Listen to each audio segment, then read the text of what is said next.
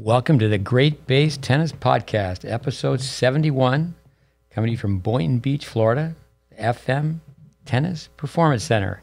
Our guest tonight is Fergus O'Rourke.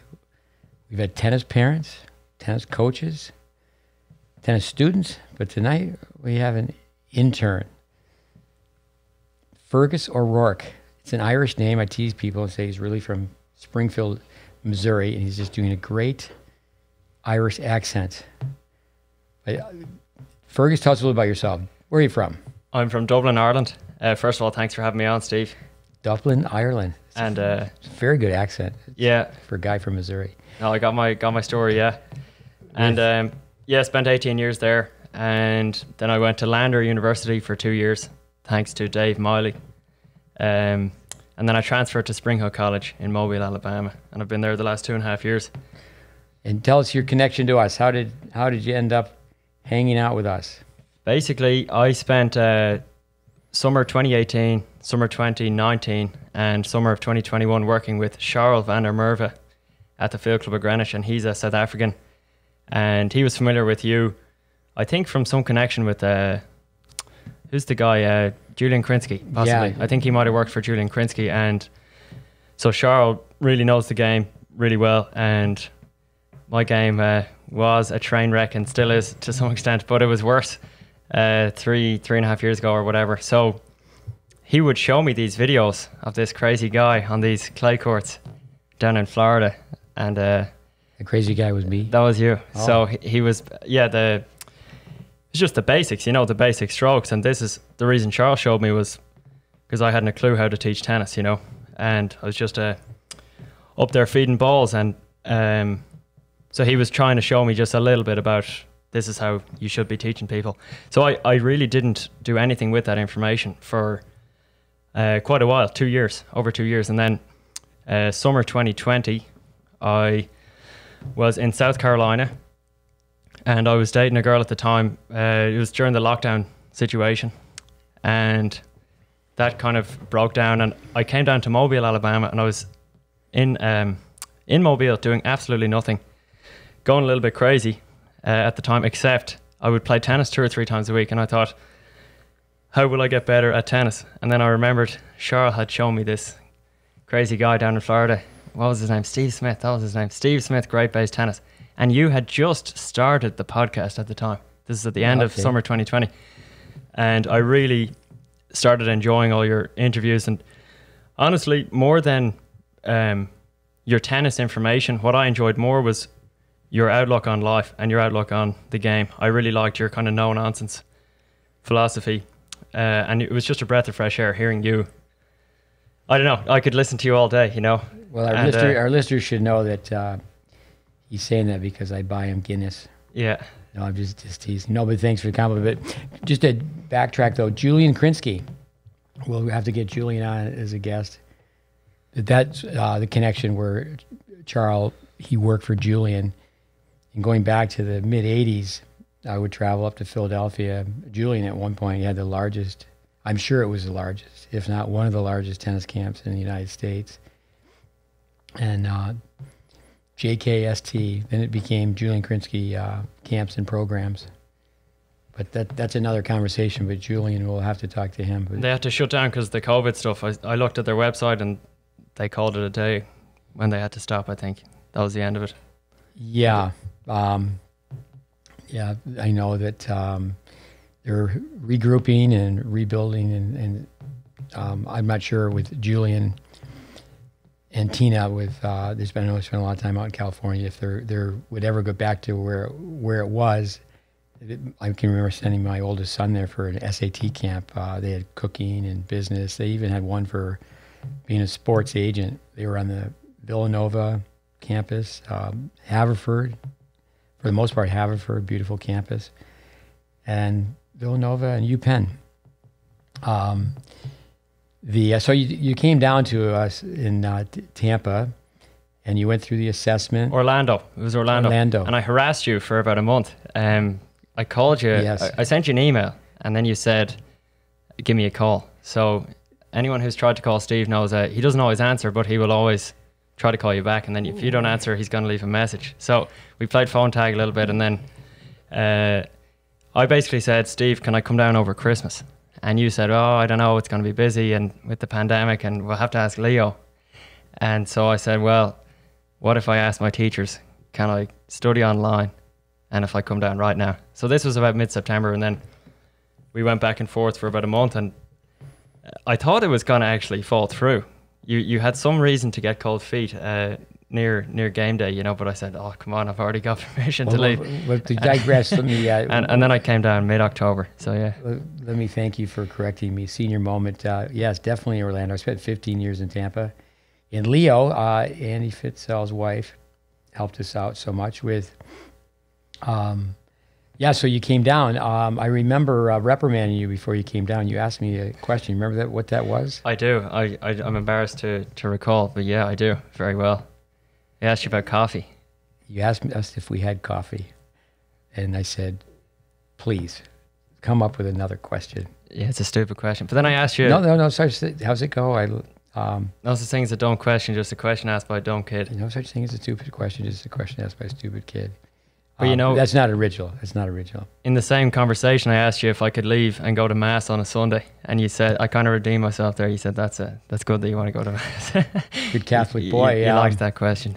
with uh, yeah, I know we had some problems with that during the pandemic. Yeah, with um, I remember my brother Matt when he went away to boarding school, then I went away to the same boarding school, and our our great aunt Anna would always ask us if we're going to mass, and my brother Matt said, "Yes, Aunt Anna, I go to Saint Pillow and Holy Mattress." Right.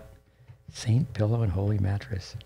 So, what's your recall on coming down? Your initial assessment? We make that a prerequisite for those um, new to our podcast. Um, unless someone's a total beginner, they have to be videotaped. Film all their essential strokes, and we make a narrated slow motion analysis. Now it's a, a private YouTube clip. I can remember when it was a, a VHS and then a DVD. But why don't you touch upon that? Uh, so, actually, in introducing you, um, certainly we'll talk more about that being a tennis player, but you came to us with the idea that you were going to improve both. Right. You're just in your early 20s, 21, 22? Now I'm 23, getting old, Steve. Nearly as old as you. But um, yeah, I came up, catching up. I came down. I remember I. Uh, this is on not very relevant. My phone was broken, and uh, so I didn't have an alarm. And uh, so the, I heard these alarms going off. I think it was the kids were getting up pretty early, maybe five thirty or something.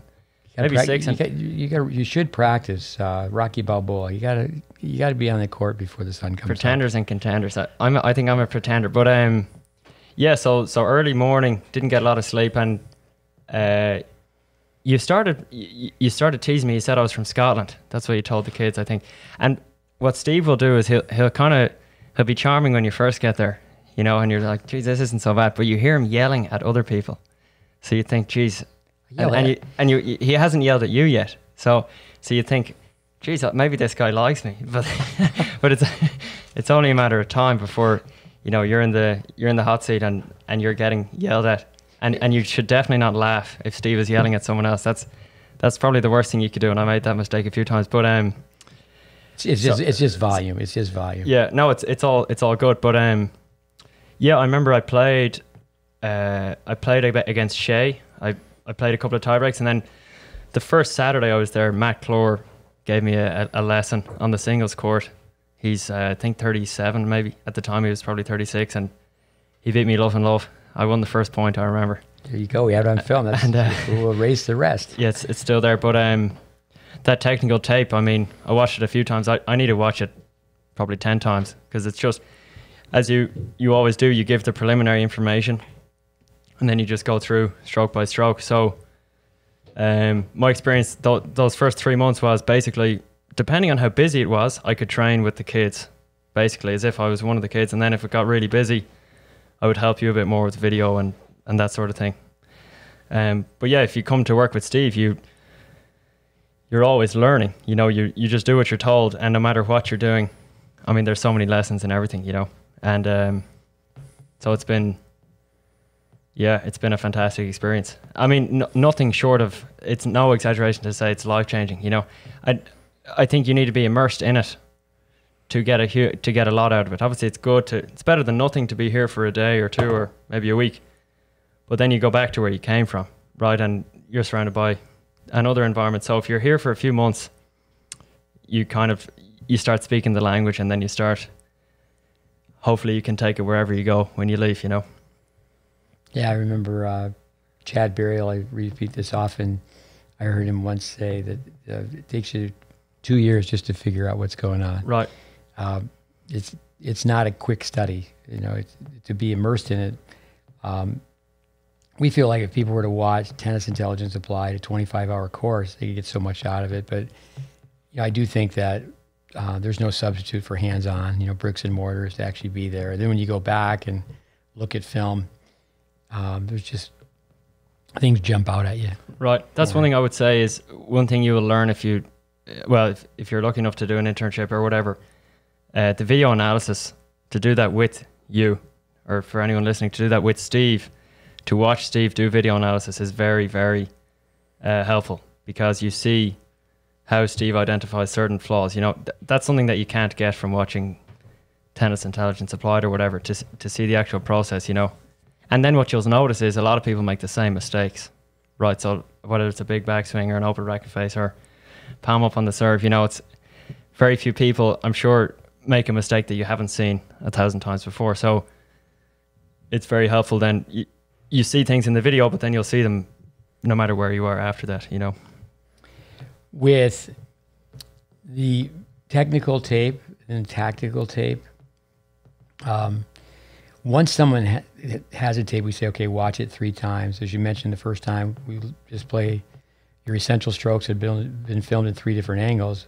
Well, you watch that at regular speed with preliminary information. You know, the dimensions, of the court and physical law dictate stroke production, no coach's opinion, any unique theory, a Bradenism. But it's, it's, it's really fact based. With um, it is diagnostic, you know, there's a flaw, there's a cause, and there's a cure. And there's a matter of looking for the primary flaw, identifying that. But you also need to know the timetable. And obviously, you don't want to make a technical tape. You know, we do make technical tapes for players and tell the parents to watch it, but don't have the child watch it until they're done with such and such tournaments if Right. they're, scheduled to play the next several weeks. With we also um, like to have people when we get done and go and we now we go through information. Don't think about your game. Initially, just think about the game, because when you're working on technique, it's it's uh, really two two sides to it. You're doing it one to improve your own game, prevention of injury, and just improve performance, but also so you have an eye. You can look on the other side of the net, and you can detect your opponent's strengths and weaknesses you know, very, very quickly and then make adjustments accordingly when you're actually on the court playing. Right. With, um, tell us a little bit about, you know, growing up in Ireland. I mean, sports, hurling, and then we can get back to coming over, how you got here, and Right. the different, the two different colleges. Yeah. Um, growing up in Ireland, I was always uh, pretty good at sport. Uh, played soccer pretty seriously till I was 12. I played Gaelic football pretty seriously from about, let's say, age 9 to age 18. And I played hurling. I was a little bit soft for the hurling, actually. Um, you would have been a good hurler. You know, there's a people are holding a stick, and uh, you had to start wearing a helmet as of 2012. Uh, before that, only kids had to wear helmets. But anyway, uh, so that's GAA, Gaelic Athletic Association. Um, you talk, I mean, maybe there's something to come back to, but the whole community aspect of the GAA, you talked about the hockey. You can't leave your hockey uh, team based on where you lived. That was the way it was when you were younger, right? It's the same with the GAA, even to this day. I mean, there's so many things in Ireland that uh, are like everywhere else in the world or whatever. And in terms of, I don't know, globalization and commercialization of, of all sorts of things. But the GAA is that sort of, it's where that rootedness in, in your community and in your tradition is still very much, um, it's very, it's very real even to this day. And it's quite a beautiful thing. But anyway, um, I played tennis from the age of four, but never really seriously. You know, never like these kids, Malhar and Shay. Um, they're tennis, tennis, tennis. You know, I was never really on that train at all as a young as a young person, and uh, I don't really have any regrets about that. I would be obviously a better tennis player if I'd played four hours a day from the age that I was five, but I'm very grateful that I did all sorts of different things. You know, when I grew up, and uh, like I played music, and I would say I had a relatively normal upbringing, and uh, I mean, with everything there's sacrifice, right? If you're going to be a professional tennis player, you can't have a normal childhood. If you if you want to be, if you want to have a good childhood, or if you want to have a childhood like everybody else, you, you're not going to be the best tennis player in the world. You know. Well, so it- it's it's yeah. with everything. There's you know you can't have it every way. So anyway, that's that's that. So so my tennis, just to be specific about the tennis, um, I would say I had good coaches. Uh, I would say I didn't get technical instruction from any of them really, you know, because I was always competing, and I never said, okay, I want to really take the time out to do this, and they never maybe would have said, okay, Fergus, you got to stop competing for a year because, I mean, maybe. I mean, who wants to be told that? You know, who wants to deliver that news? You're obviously happy to tell people that, but it's just not the norm. Um, and then as you get older, it's harder to change. You know, so uh, like I think there's a lot of good tennis coaches in Ireland, and I can't. I don't know. I'm a product of wanting to win. I would say my tennis game is, is a product of wanting to win at all costs, as opposed to a product of bad teaching necessarily. Oh, do you know? Does that make sense? Yeah, Yeah. Let's, let's go through a few things. I know Yeah. that uh, yeah, you had the opportunity to meet your parents. Remember your mother saying, "Well, I don't know if he was listening." Right. When you were younger, I think there's definitely different difference between coaching and teaching. Right. Coaching is a, we define as a human relationship. Teaching, information transfer. Use the term norm. Boris Becker, if you want abnormal results, you can't do what's normal. Exactly. But I do think, uh, you know, Ireland is certainly different than uh, here in the U.S., where uh, kids are not specializing like Exactly. they do here so early. Correct. Uh, you touched upon, um, you know, staying with your club. Uh, in this country, years ago, we had residency rules, and sport was much better. Uh, like for myself, growing up playing ice hockey, back in the day, everybody played house hockey on a Saturday, and then on a Sunday there was only one travel team. Like Syracuse had one travel team, Rochester, Buffalo. Uh, you know, then certainly the sport expanded, um, but it, then it got to the point where everything was an all-star team. But it was great when it was residency rules. You, had the most fun playing house hockey because you played with kids from your neighborhood, and then you'd come home and then you would play. But let's go with. Uh, I mean, I guess I should say this is um, my connection to Ireland Right. an Irish American, proud to be an Irish American. Um, my grandmother, Mikhail, um, she certainly was the first one to say there's, there's there's two types of people: the Irish and those that wish they were. That was the Uh, first text you ever sent me, by the way. She, um, you know, someone that she knew quite well. She was, married three times, and the uh, the third time, the young man married an Irish American. And I remember my grandmother Mikhail saying he finally got it right. Mm-hmm. But uh, no, I was married to a gal um, from Ireland. Like to tease people and say it was a wonderful, strange relationship. That I was wonderful and she was strange. But it was the other way around. I was the one that's strange. I would tell our listeners never marry a coach. But I was married about 20 years. I've been divorced about 20 years. Um, I always tease and say with uh, if you're, I was married to an Irish woman. I always had the last two words, yes, dear. Right. So um, we'll get into that. I mean, before uh, I met my former wife, I had gone to Ireland to play tennis. Uh, it was great to finally go to Ireland. But but with um, to talk a little bit more about you know like hurling and Gaelic football, you, you know the Irish. I mean, there's huge crowds and it's still an amateur sport. Correct? Exactly. The athletes are not paid money. Yeah, they it's it's completely amateur, and so you'd have eighty thousand people at the national finals. You know, Dublin playing against Kerry, for example, in football or Gaelic football. Gaelic football, or, and uh, Limerick and Kilkenny in the hurling or whatever, and uh, eighty thousand people there. You know, And the athletes and are amateurs. It's all amateur. They they have normal jobs. You know, I mean, they don't have. They are training nearly professionally. You know, like it's a huge sacrifice, and there's other perks that come with it. You know, you might get a job in the bank thanks to who you are or whatever the case may be. Or there's a lot of them are teachers. You know, but yeah, it's it's it's really amazing, and people in America especially really struggle to get their head around that. You know, It's Gaelic football, but hurling's the same, correct? Hur- amateur. amateur, yeah, yeah, Gaelic football and hurling, yeah, they're played on the same field, fifteen aside. You have a goalkeeper, six backs, two midfielders, and six forwards.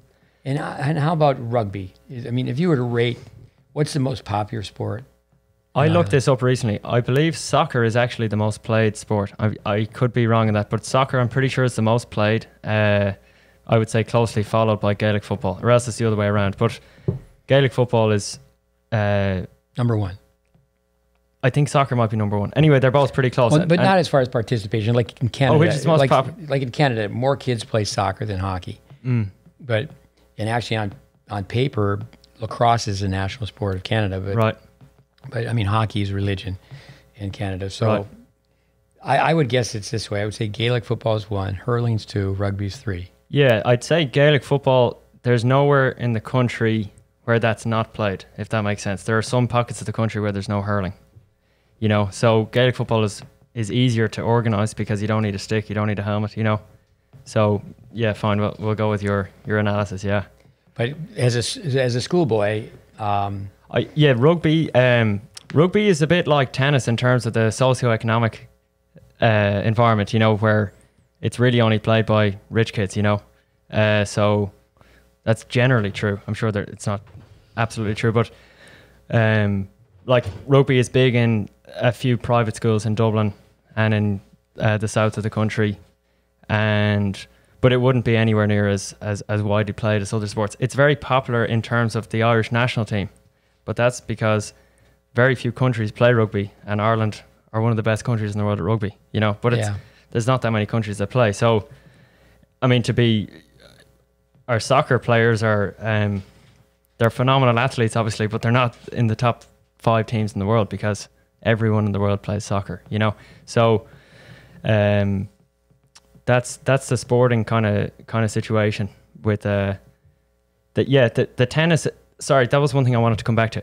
I would say there's no tennis isn't widely played because why would you play tennis when you could play? Why would you pay fifty euro an hour to get taught how to play tennis when you could? Uh, like in my parents' case, they had no involvement in my team sports. Basically, they might have given me a ride every now and then, but they practically could leave me to run down to the local facility or whatever and train, or else get a ride from someone's dad, right? And it's all voluntary, you know. So why the hell would you want to play tennis, you know? So, um, people often say, well, why why don't we play tennis in Ireland, and why haven't we had a guy in the top hundred? It's, it's a lot of it is probably just because of the numbers. We don't have that many people playing, you know. well, it's And- and so expensive, go as you know. just the population. I think Yeah, of uh, It's a small country, I think of Ireland. You know, it's equivalent to New Hampshire. right? So you were at four million. Now you're five. Is that right? Yeah, I think if you if you look it up, the the island of Ireland is probably about eight. I you, you I, you'd have to check that, but I, you know about Northern Ireland, obviously. Right, you know right, that's right. that's two or three million people probably, and then the Republic of Ireland is probably five or six million. So it I think it's a similar in size to the state of South Carolina. I'm pretty sure that's a, and then population, yeah, similar. Fergus is a lefty. Fergus is very, very fast. And uh, he's mentioned some players by first name, Shea, Malhar, people that he, he's trained with. And um, it's like, well, who's the best? You know, so we we like to play soccer. It'd be nice to play every day. We play all these different sports. And Fergus is humble. He goes, because people say that he was, the, the, the tennis players would say, you know, he's phenomenal at soccer. And he, with humility, said, uh, I haven't played since I'm 12. I can only use my, my left foot. Right. And, yeah, I was uh, one of those guys. I also, also to, um I was telling uh, one of the coaches today from Columbia, you know, we've had situations where, okay, say we have 14 players and four of them are foreign. And we'll play soccer. Will be the foreigners. It'll be 10, four foreigners Right. against 10 Americans. Right. With, uh, but You- so go by season. What what did you do in the fall? You played a different sport every season, right? Let me think. Uh, no, I would say football and hurling were. Oh, geez, Steve, I can't really remember actually. They, I would say the only season I can think of in my head would be tennis competition was pretty much exclusively in the summer. So the other sports would probably be pretty year round, and then they might they might break over the summer, something like that. But the tennis, the great thing about um, my tennis situation was, well, uh, by contrast, right, Shay or Malhar, these kids, they, they live in Orlando slash, um, they travel here and there, but for them to go to a tournament, their parents might need to drive them for hours and then they might need to stay and pay for a hotel and pay a massive entry fee. Right, that costs a huge amount of money. For me to play pretty much every single tournament in Ireland, I could stay in my house and get a train or a bus to the, the club, which was in within say 20 miles or 30 miles of my house, you know.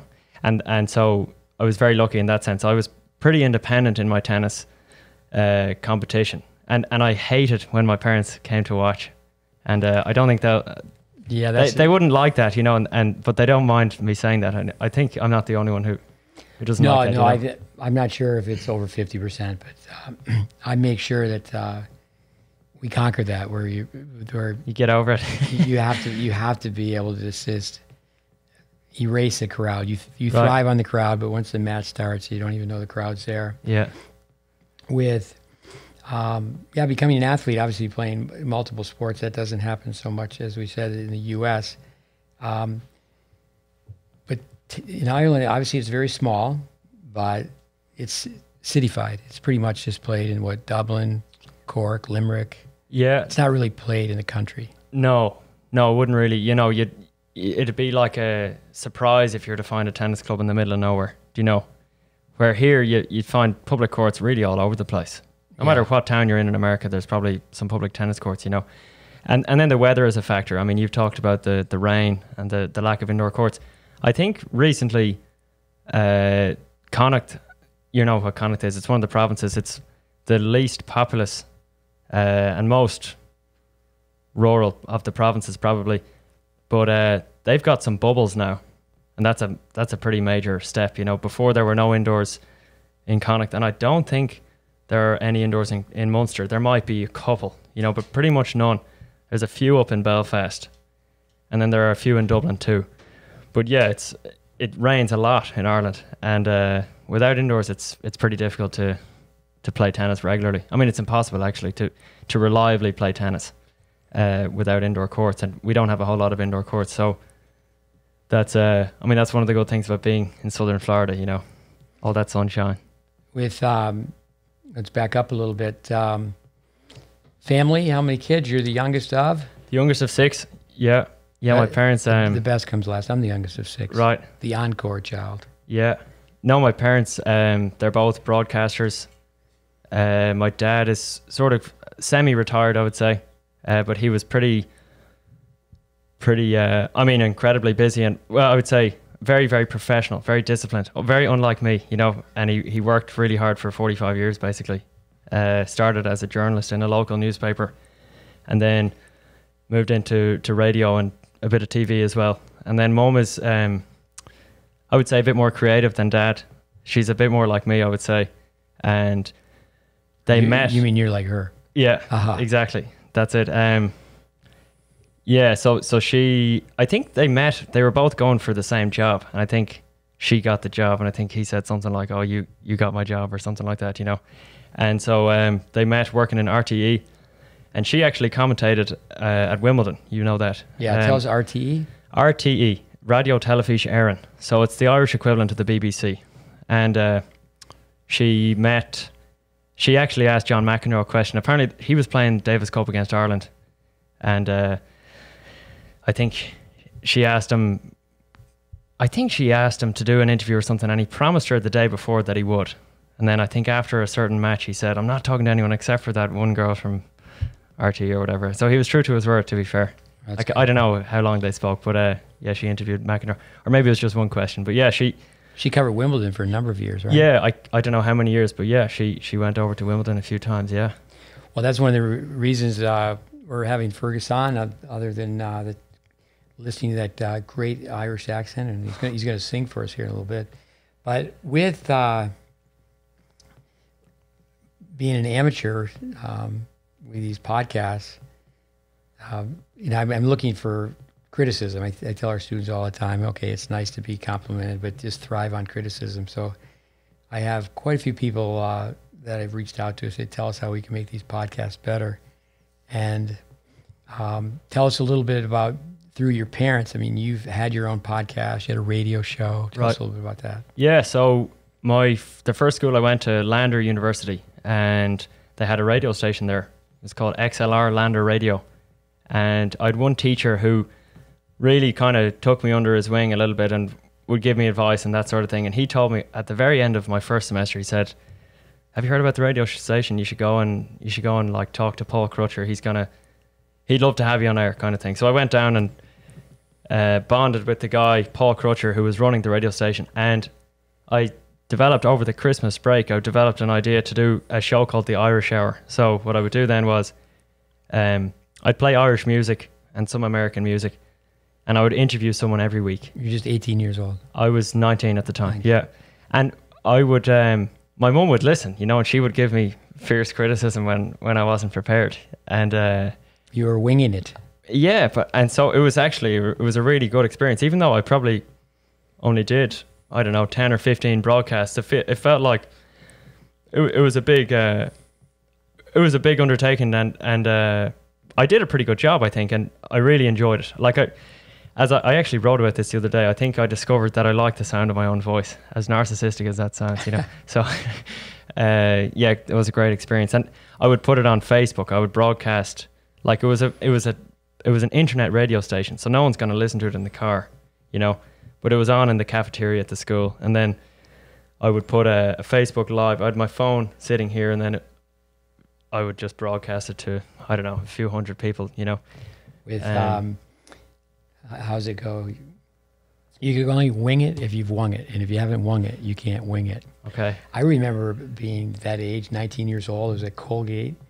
I had a cast on my foot, and I was interviewed between periods. The Colgate hockey team was playing this school I went to, um, Oswego, um, one of the state universities on on Lake Ontario, and and I, I was doing fine during the intro, in between the first period, and then there's obviously in between the second period, and I remember the the, the color commentator, you know, the one who's dressing it up uh, with Mhm. a little bit of uh, this and that, said, "And coming to you live," and I just froze. I mean, I was just thought, I, initially the the first time I talked to him was just a conversation. The second time, so you, you know you're going to be on the radio the- the- in between.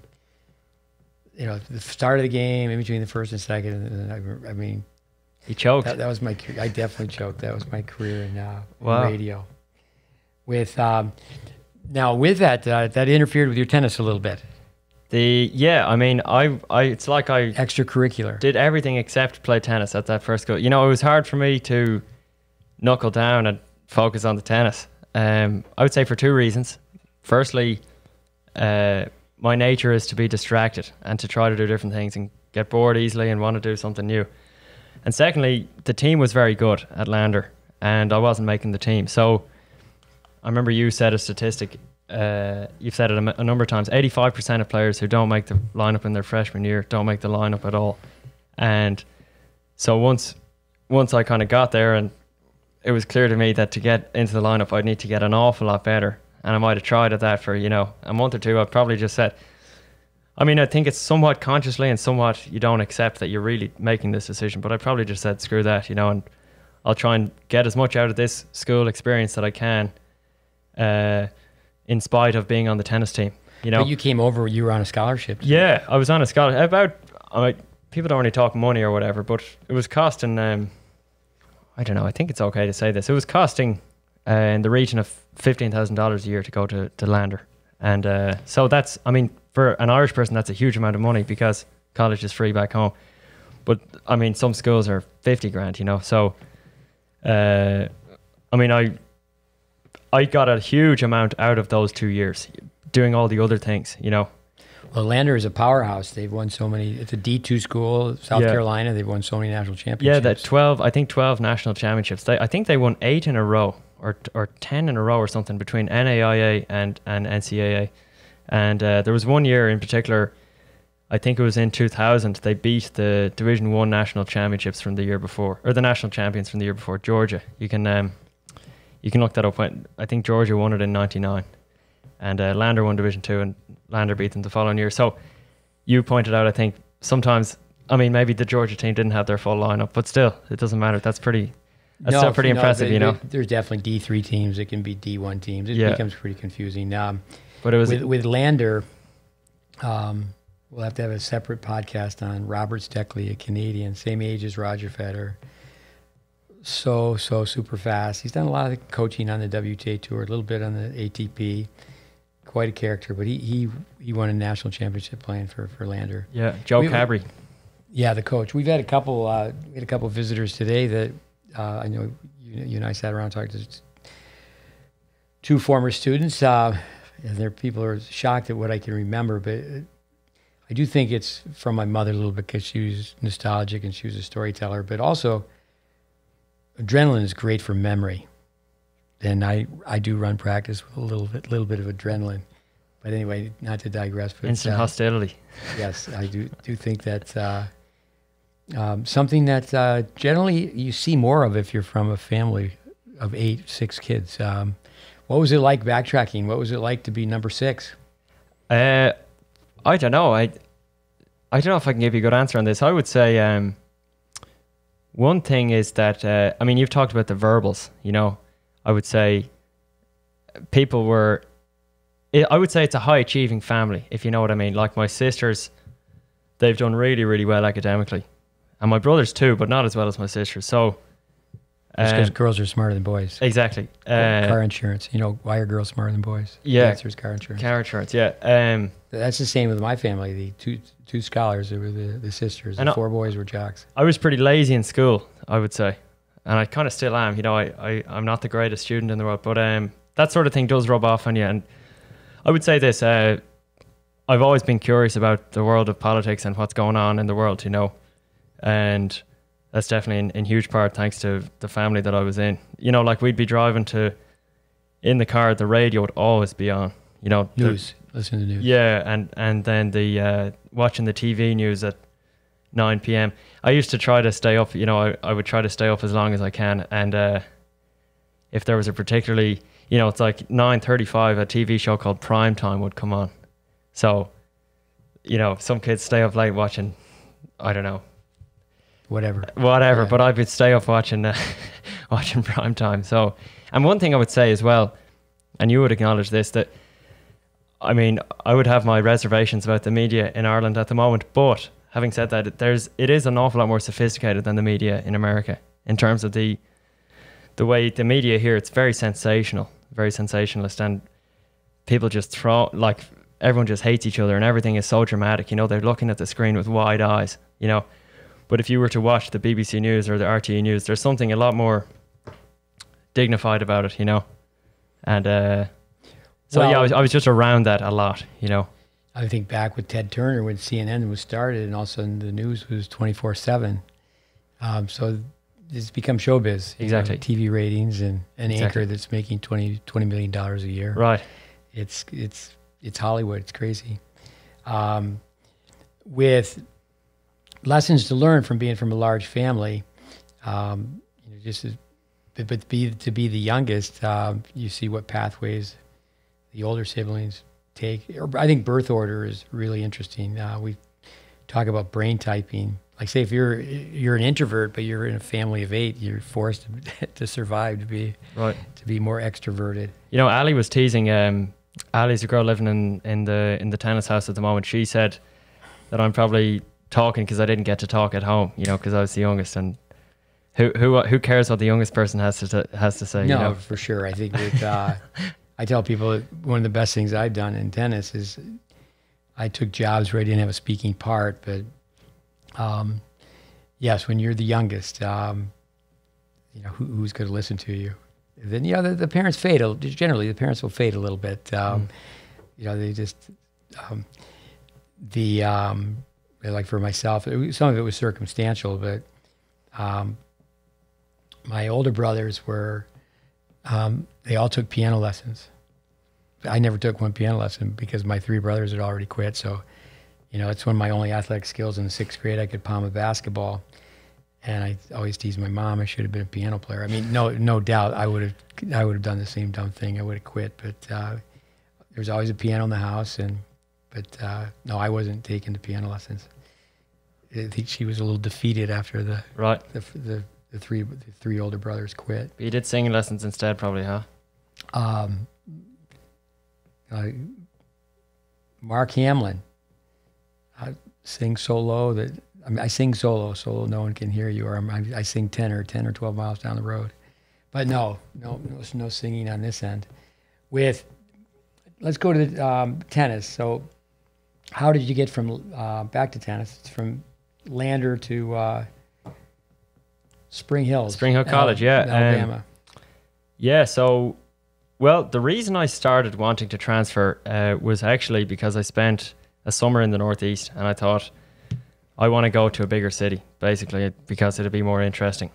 And that's not, I don't know if that was a, I don't know, was I right in thinking that? But anyway, that was what got those wheels kind of turning. And um, also, the thing about Lander, and I have a huge amount of respect for the school, but it's not a very uh, renowned school in terms of reputation. You know, it's not like no one knows about it. And one of the things my, my parents would have thought is like, what's that going to look like having a degree from this school called Lander, you know?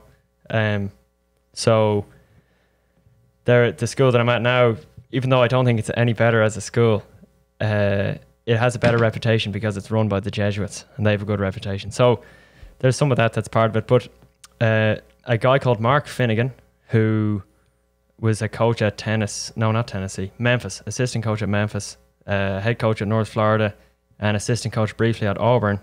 He had gone home to Ireland uh, in 2018 and he had set up a recruiting business called All Sports Recruiting. Maybe I'm not allowed to publicize that or whatever, but anyway. No, no, it's fine. Yeah, so there's just certain rules at the NCAA. It's a crazy strict It's stupid stuff like that. But anyway, um, Mark uh, had just set up this recruiting business and I called him and I said, um, I mean, we got talking, and one of the ways I tried to uh, become more valuable was I actually started running cross country. And so, fall of 2018, I was the MVP on the Lander cross country team. and uh, we came, I think we came second last in our conference. So, well, that's what I'm talking about a, with your speed and yeah. your ability to run. But did, did you run cross country as a kid at all? No, I ran a race every year for the for uh, grades seven, eight, and nine. I ran one race in the fall. No, I would have run two races: East Leinster and then Leinster So that that would have been two races, and then. But no, I wasn't a I wasn't a serious runner, you know. But I was good at running. Um, I'm actually not as fit as I was probably when I was 16, but um, that was that, and and yeah, I, I, I visited three schools and one of them was in um, Missouri called Lindenwood. I visited. Uh, what was that school called in Philadelphia? Is there a school called LaSalle in Philadelphia? Mm-hmm. I think it was called LaSalle. Yeah, and then I visited Spring Hill, and I really got on well with the captain at the time. Um, and by the time he got there, was he still there? That he actually he hadn't he wasn't there. Yeah, he, he wasn't on the team. He was graduating that fall. So yeah, that was the case there. He was um, yeah, so I transferred to, to Spring Hill. Yeah. One thing with foreign players, um, what happens with U.S. players is they can turn their nose up a little bit at Division two schools, and you know many players go to a Division one school, and they get in over their head. They don't go where they can actually play. Right. And you know, there's some American kids that the coaches sometimes are welcome with open arms because they're going to be playing all foreigners, but you know, it certainly looks good that they have Americans. Uh, like you said that when you said you you didn't, we're not going to make it um, at Lander, yeah. At Lander, that's being in the top six, being right. being in the lineup, right? With, but that's one of the reasons that foreign players will come over to the U.S. A lot of these smaller schools like um, Lander, they don't have the the budget to recruit American players, where they got to wine and dine them. They're going to, you know, have, have the kid fly in to see their school, fly back to see the parents, right. go to one or two nationals. That's that's a lot of money from a recruiting standpoint. Um, but so you actually, when you transferred, you transferred with a scholarship as well. Yeah, it was actually worked out really. I mean, um, paying less than Atlanta. I, I don't want to talk about the money there, but uh, I got more than I deserved. I'll put it that way. uh, yeah, got a got a great a great have, deal have there. You, have you run cross country at all at Spring? No, haven't had to do that. No, I've run for election twice actually. So that's um, and I lost twice, of course. So you, The first time, Steve, guess how many votes we lost by? Just have a guess. Three. Five votes, and uh, so that was the first year. And um, no, I think I mean I will say uh, I've I've contributed to the to the life of that school in, in a certain way, you know, and um, so no, it's been it took a while for me to to. Uh, I mean, I, I needn't bore people with the details of, of our of our tennis team, but our culture is getting better. I'll put it that way, and uh, we've got a few freshmen and a few sophomores who will continue that improvement, and I'm quite excited about that. You know, So let's go back to school election. Uh, I'll tell you a quick story. When I was in maybe the sixth grade, um, I was voted the class officer. The rep you go to, you know, one from, from one from each grade, and there'd be a meeting. And right?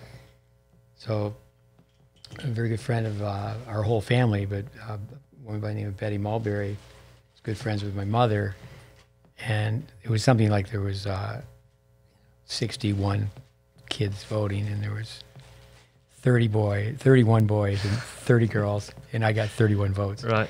All the boys voted for me, and none of the girls voted for for any of the boys. But so yeah, so your radio show, your podcast, running for school election, running cross country, um, not just focused on hitting forehands and backhands. Yeah, not spending enough time in the uh, racquetball alley, you know, with an orange ball, and uh, not not enough time shadow swinging in front of the mirror. But the the podcast is one thing that came up with you and when my parents were over here because, uh, I mean, that's one of the, arguably my favorite. It's probably my favorite thing to do is to interview people. And for a time, I was doing one a week when I was with you in Orlando, and I remember that. Yeah. and you and my parents were kind of saying, yeah, and my dad in particular was kind of, um, you and my dad would have said like, that's a day out of your week. You know, you can't be, you can't afford that. You know, taking you away from it's a it's a distraction. You know, that was kind of the thing about that. So well, I think live and let live. But if you want to um, really excel, yeah, um, I mean, you can't do everything. Eventually, you get to the point where you know, how does it go? Um, jack of all trade, master of none. Exactly. No, hundred percent. Um, and it's unfortunate that uh, you know if, if if the competition is practicing five time five hours a day now, you know you can't practice five hours a week. Right. But actually, when you stop and do some homework, there's some great tennis players that didn't play that much tennis when they were younger, and it's way way overrated. Um, you know, we've talked about the movie um, King Richard. Venus stopped playing tournaments at 10. Her sister Serena's 15 minutes, 15 months younger.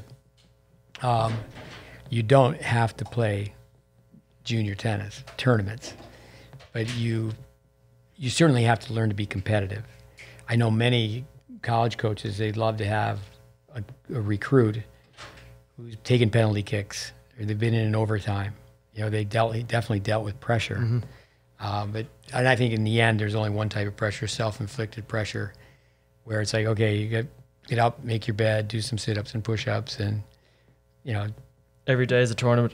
yeah, every day is a tournament. So, with um,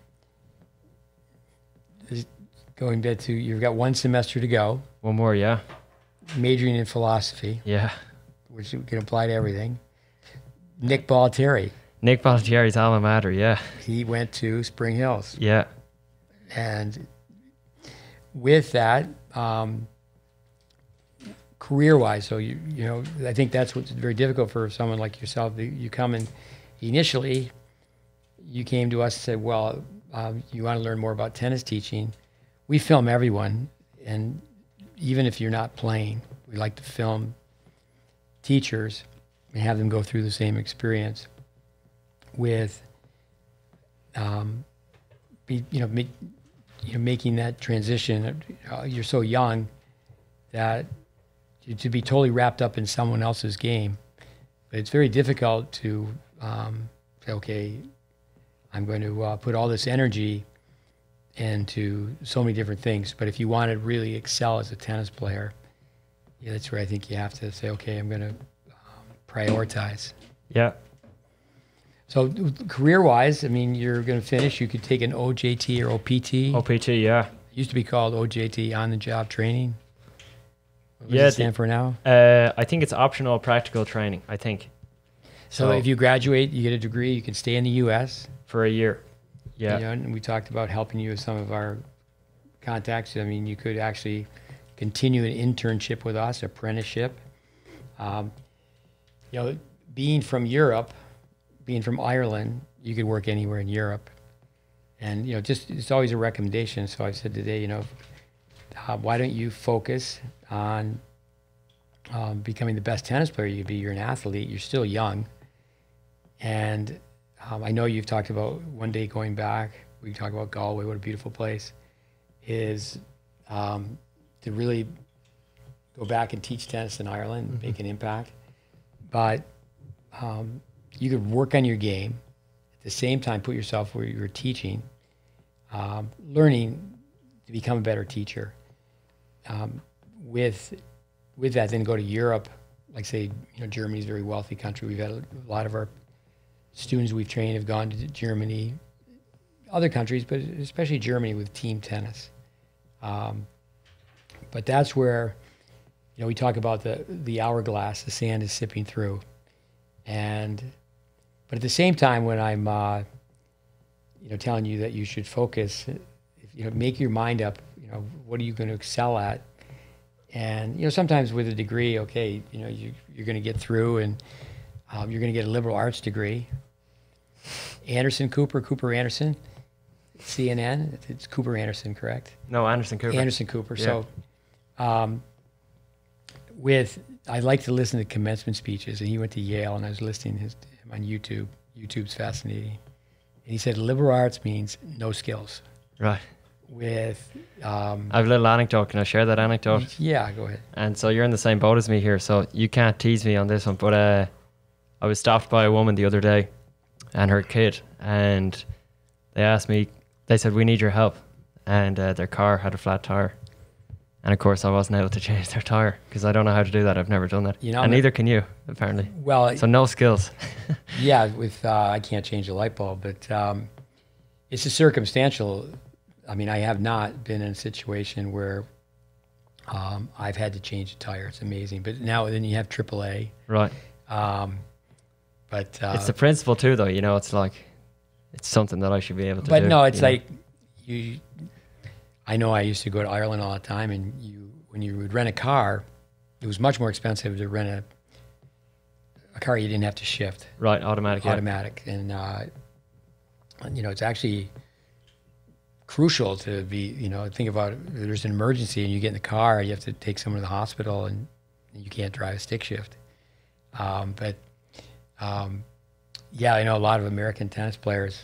You know, you think, can you string a racket? You know, you, well, here are some things you need to do if you're going to go on the road, and Right. you need to learn to years ago is you had to learn to drive a stick shift with um, yeah so i have to uh, add that to my my bucket list i need to learn to change the tire Right. it's so easy now with a cell phone But living in the van, I'm surprised you never had any horror stories, you know, flat tire, that's nothing. like- another thing you know we talked about talking about robert steckley is that we could have a podcast um, i'm very proud of the fact that uh, um, one of the coaches in this classroom they put a picture up of the van. I lived in a van for two years. Great different scenery every day new neighbors uh, beat the rent. Um, the uh, life, life on the road with um, let's get into uh, irish tennis a little bit. Um, it's your tennis, but then Irish tennis, you know, we talked about it's an island nation, small, small, small population. It's an expensive sport, and around the world is becoming more expensive. I think of it as a money grab. I was very upset with uh, the entry fee recently to Little Mo, two hundred and twenty-one dollars, and I know one family came to visit, Incredible. three kids playing. It's just like it's too too much. Too, Where is too that much. money going? Yeah, it's, yeah, Um, yeah. but most recently, um, with Irish tennis, uh, you're the initiator of this. It was great. Uh, Dave Mullins with the Intercollegiate Tennis Association. We talked to Dave, did a podcast with Dave. He, I think he's a manage, managing director of the ITA, Governing Body of College Tennis, with um, you know, trying to reach out to help Irish tennis. That was certainly something that uh, know, talk about a couple different things came down my pathway. But um, who, who who's the director of development now? And Uh, Garrett Barry, I think, is the head coach yeah, so at Tennis Ireland. Um, I did with Dave speak to him and said, gee, you know, if you could just come up with, uh, you know, like say four families and, and, and, and going, knowing your background and having spent a lot of time in Ireland, some kid could be um, playing Gaelic football or in the backyard, they've got a hurling stick. And, um, but if they just take 10 minutes, um, uh, Brandon Flanagan, for example, he um, connected with two schools here in this area uh, kindergarten through eight, eighth grade, and you know, I would love to just sit down with the athletic director and say, "Hey, this is what should really be done." Right. You know, but it, he, uh, a lot of times, you know, you're a new guy on the block, and it's like, "Who's this guy?" Right. For families coming back to like elementary schools, is, is if every kid could, you teach running mechanics, you teach throwing mechanics, um, and yet you, you're very clever. But if you could just say, "Okay," I mean, you could say, "These are the sports you're going to learn to play here." Right. And sure, you know, especially in an outdoor environment like South Florida, okay, there's no hockey rink, there's no, you don't, we're not playing football, uh, but you can have basketball, you would have soccer, um, you'd have running, you could have golf, golf, you could have tennis, um, you know, you could even have say lacrosse is a fast-growing sport. But start to just teach skills. So what should uh, what should happen with a young tennis kid is they really shouldn't play tennis Right. if, like say for yourself, you you grew up and if you you know you, um, and that, I think that's interesting about cross country. I you know two or three people I've coached that come to mind. Uh, Artyom Pogaimi, and uh, from Moldova, Megan Broderick, from Florida. Uh, because they just their time was such and such, they're just good enough to be on the team. You know, with cross country, say no, this is uh, this is my mile time. Right. This is my two mile time. Yeah. Then, then you just There's no politics. you're, you're just good to go. Yeah. Um, but if someone like yourself was just taught, and you you know you, you, wouldn't, you wouldn't even know you're being taught, like okay, you want to go back over and and play ultimate frisbee, Yeah. come over here and show us that you just have these efficient swings, and a kid could be six, seven years old. That's that Einstein quote where imagination is greater than knowledge. It's kind of like coming back to Daniel Coyle. It's that you should really only hire people that are 60, 70 years old Right. that uh, have some experience and say, hey, th- this is how you this is how you should do it. And the, the the thing about tennis is you can make money at 19 knowing nothing. Basically, you, you, as you know, you don't need to be qualified to make a living. That's the problem, basically.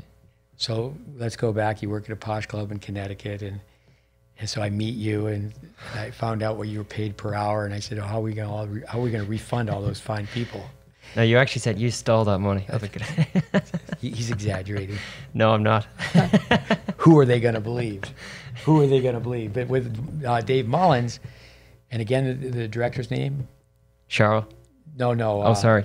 Tennis Ireland.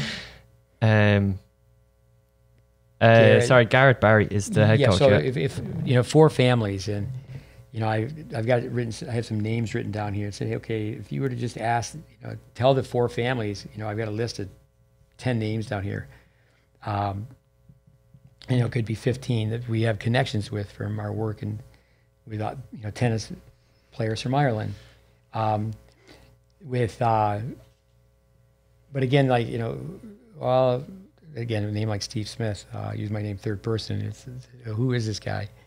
But if, if people would, if they could take time and listen to the the podcast or watch some of the courses we have online in the history of the GreatBase, um, functional tennis. Tell us about Fabio. That's something else, Irish tennis. Fabio, I honestly I wouldn't be the one to ask about Fabio. Um, What's his last name though? Mole or Mole, M O L L E. Yeah.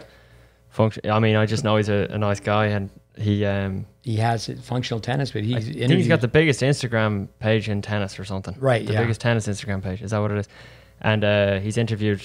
He interviewed Joe Dwyer, who's someone that we both know. yeah. One thing I'll say about Irish tennis, um, I mean, who the hell am I to offer my opinion on Irish on what should be done about Irish tennis? But one nice thing, and um, well, I get to that in a second. But one nice thing about being in Ireland, sorry, being in America as an Irish tennis player is because there's not very many of us. Pretty much automatically, if you meet an, if you know another Irish tennis player in America, there's an instant willingness to help you out, and obviously that will extend to varying degrees. You know, some someone's going to help me more than another person, but like I know Julian Bradley. Julian Bradley knows Joe Dwyer. He he also knows Richie Martin. So I'm I can get help from Richie Martin if if I'm stuck. That that's kind of how it works. And then whenever someone comes over, that's a bit younger than me, I'm more than happy to help them. You know, we're all kind of in that same boat, which Well, is really cool. You know, Well, I think that with, like, say, if you're in the players' lounge at one of the pro tournaments, say the U.S. Open, more so on the men's side than on the women's side, for sure. But the, the men get all, all get along. But yeah, you know, the Swedes sit here, the Colombians sit here. You know, they'll definitely have no problem sitting with each other. But yeah, it's just, you know, getting together with someone back home, whether it's the humor, yeah. and it, just what's going on back home. So I've, I've noticed that that, as well with the language. Um, I find it very easy to get on with uh, British people or Australian people because it's just it's nothing against non-native English speakers, but because we speak English as our first language, it's just easier to communicate with a person like that, you know. And it's easier for a Spanish person to connect with a Colombian, you know, than it would be for me to connect with a Colombian or whatever. But um, you just reminded me about something. Um, I just wondered, what if this could happen? You know, Parks Tennis. Have you heard of Parks Tennis? It's No. a program. It's it's basically where they teach tennis in public parks, and it's really cheap, you know. And a lot of in, in Ireland or yeah, all over the world? it's it's in Ireland. Yeah, I, I don't know the extent to which it's um, active now, but there have been a few Irish, like pretty uh, pretty serious Irish tennis players who were introduced to tennis through something like that. Um, now to teach at a program like that, you wouldn't need any. I mean, you wouldn't need to know really anything about technique, you know. And I just wonder what if. If you could, ju- the thing about the GreatBase is it's a language that you can replicate, right? No matter where you are. So it's like if, if, if you could just expose it to more people, um, instead of just one or two or three people. Like the, the whole beauty of the GreatBase is it doesn't have to be a private lesson, you know, but you can teach 50 people at once and they're all, they're all learning the same way, you know. So it's, um, it, it's, it's a, what I think is really special about the GreatBase is that it's, uh, it's, it's a product that you can just keep manufacturing over and over and over again. And it just kind of ripples out, you know, like you're obviously one person and that's you've coached X number of people, but how many coaches have you taught? That's really what it comes down to, and then it spreads to all their players, you know. Well, yeah, And they're all over the you place. know, So biblical teaching, you know, give a man a fish or teach him to fish. Yeah. exactly, and and the whole thing about the GreatBase, you're not teaching someone how to be better at tennis, but it's like, oh, no, we're teaching people how to teach. This is this is just, it's a system, and uh, if people, yeah, if people were to just watch some of that stuff online, it's like, okay, it it makes sense, you know. And it's not just a whim. You know, there's an intelligence that, and you would be the first to acknowledge someone like Nick Bollettieri. He's got a gift, right? He he has a gift of of making people tennis players, but he can't pass that gift on to anybody else, right? It, it's a special gift that he. What did he say? God gave me eyes to see. Isn't that what he said, or something God like give that? me eyes to see tennis. But no, Yeah, Nick, I- I think uh, Carling Bassett you know, said, uh, I mean, the greatest junior coach ever, and and and maybe not the not the best pro coach because the pro coach is paying him. With- With uh, Jim Larry, we talked to Jim about Jim, and Jim was on our podcast is to get a jolt from Nick Bollettieri with. Um, But that's a one person, you know that. right, right. And and it's not something you can, like, if you were to teach ten people, ten Irish tennis coaches, if you were to inter, if they were to intern, with, they could completely change the whole, the way tennis is done in, in, in the whole country. You know, it really could. Well, coming back to functional tennis, is uh, Fabio. Um, I've exchanged a few emails with Fabio. I don't know Fabio either, but seems like such an upbeat, positive guy, and he's doing a great service for tennis. But it's more of a magazine where he's interviewing all these people connected with pro tennis, whether it's a psychologist, a trainer, a player, player's coach, and I think that's great. But um, the similarities from one pro to the next, you know, from a biomechanical standpoint, Checkpoints, yeah. at the impact point, you know, you can't violate physical laws. I mean, the strings have to be facing towards the target. Um, with my first trip to Ireland, this is before I met my former wife, is I played doubles with uh, the late um, Richard Bird from Huddersfield, and um, we went to Cork. We took his car over. Went to we, took the ferry over from from um, from Wales, Holyhead, probably, huh? Holyhead, right? And and um, you know, being um, someone who didn't pay attention to uh, what my mother or my sisters liked is Waterford Crystal. This happened to me a few times when I was a teaching pro. Is I'd go someplace and play a tournament, and they just beg you to play mixed, play three events, and I was in pretty good shape, but I should have uh, just played uh, two events. So Did we, you lose to your friend in the final? No, no, I, we won the doubles. Um, the um, but no, I lost to a young Irish kid in the final. I mean, I no excuses, but I was uh, yeah teaching pro. I mean, I was still you know maybe 27 years old, 28 years old, but they and they it was amazing after playing a tournament where you you um, go have a drink with the person after you played. Right. You sit down and you go to the clubhouse and these people are being so nice. And first of all, it was a week long tournament, and on the Wednesday, middle of the week, there's a party. There's a band and there's a party in the middle of the week. It's not your style. Tournament party. uh, I could be with, uh, you know, I can. We had Scotty Perelman on the podcast, coach at the University of Florida. I remember him saying, "Smitty, Smitty, Smitty, I don't think you're serious enough to be a junior coach." Um, but you know, once I started working with people and they write down, okay, they they want to be a, um, you know, they want to be a top top coach. They want to be a top top player. Um, South African by the name of Greg Lussor spent three years with us, and uh, so he came in and he said, and we we we paid the fees, and he came in. We got got a visa for him, and a very polite kid, and so he comes in and uh, he says that he'd like to go back in a leadership capacity and lead South African tennis. And so when I mentioned earlier, Chad Burial said to him, "You should have never said that." And he said, "Why?" He said, "Because now he's going to treat you that way." Right. With and just to explain to people that that means you're going to be tough on him. Basically, that's the point, right?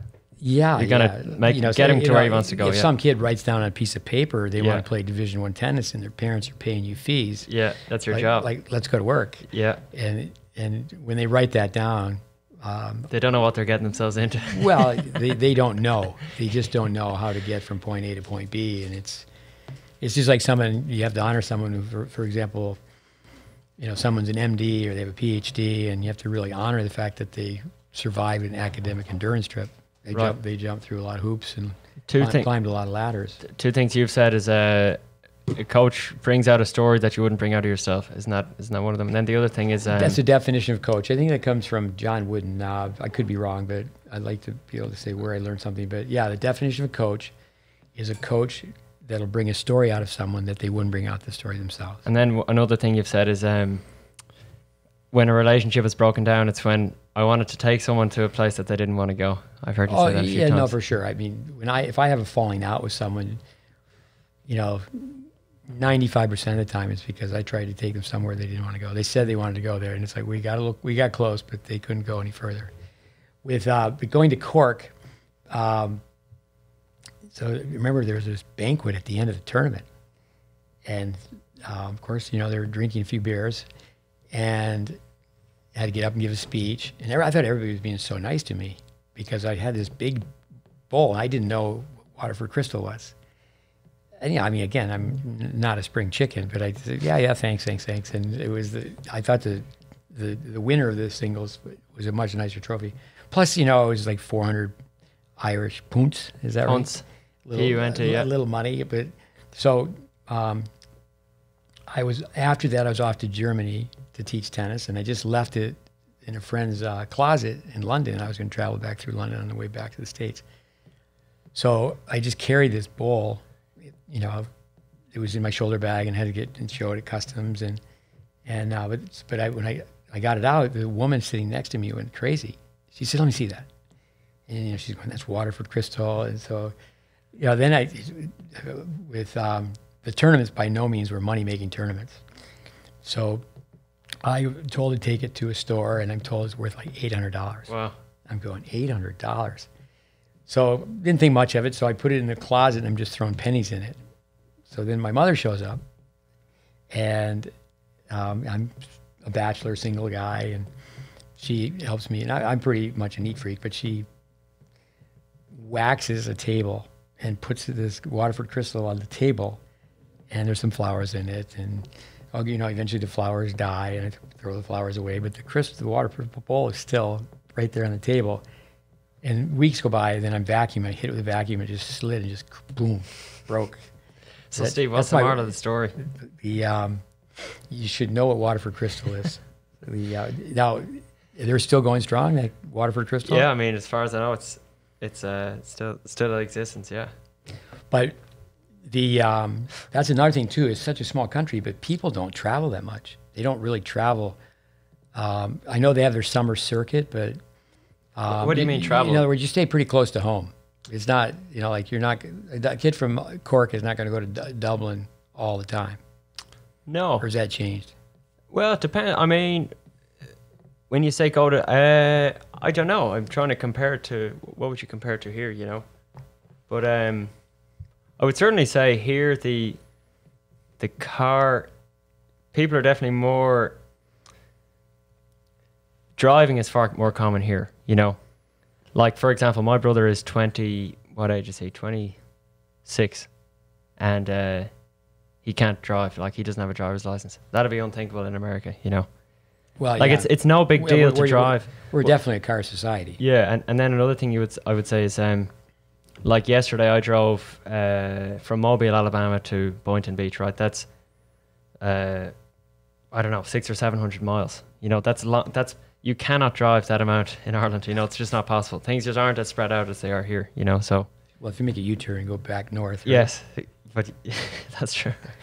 But yeah, I mean, top to bottom of the country is probably I don't know six or seven hours. You know, so with but going back to being in Cork though, price of gas, Right. price of tennis balls, right, everything's so expensive. yeah, Everything's so expensive. yeah. Um, Yeah, I mean, when things are cheaper, you just buy more than here, don't you? Isn't that kind of, of- how, there's yeah, so much waste? Volume on our side Yeah, with um, but Ireland's becoming more like that too. You know, like the the big shopping malls out on the in the middle of nowhere. You know, with the big massive parking lots.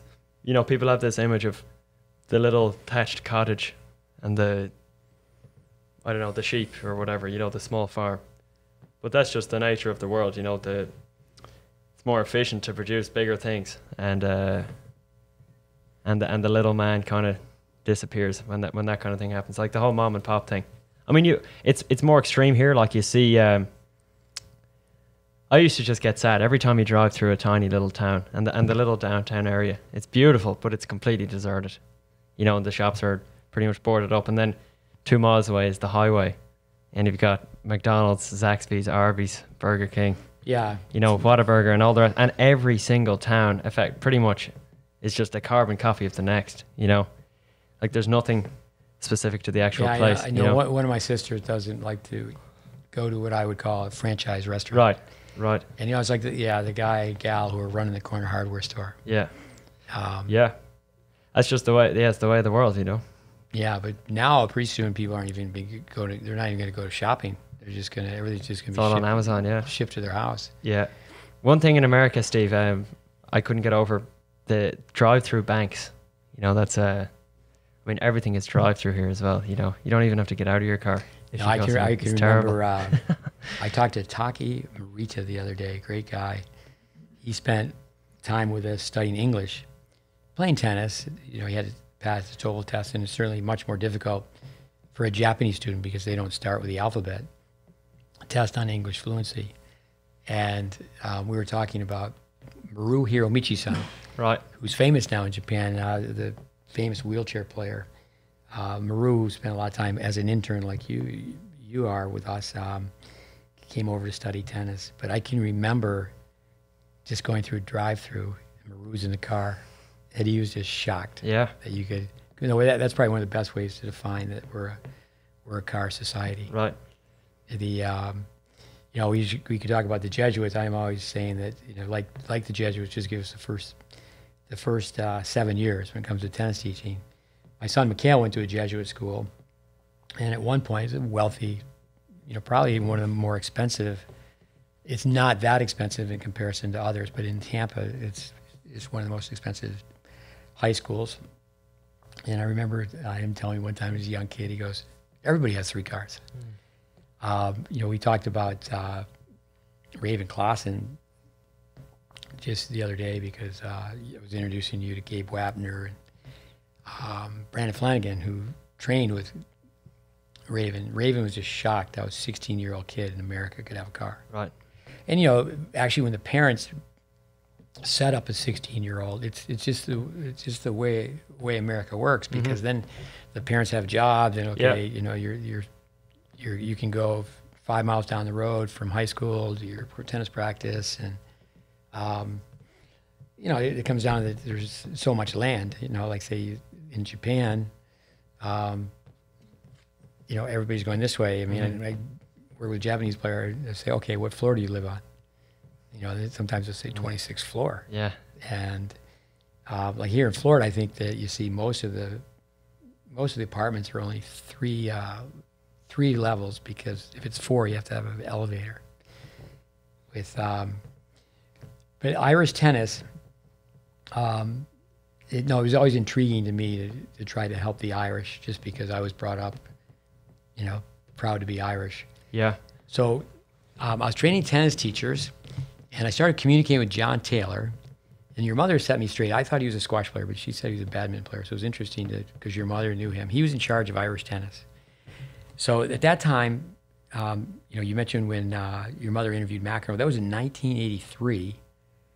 Um, through John Taylor, there was no national coach, but I was offered to be the national coach of Ireland. They had no money, um, but there's only two indoor courts, and so two. I'm, I'm just thinking two indoor courts, and it rains every day.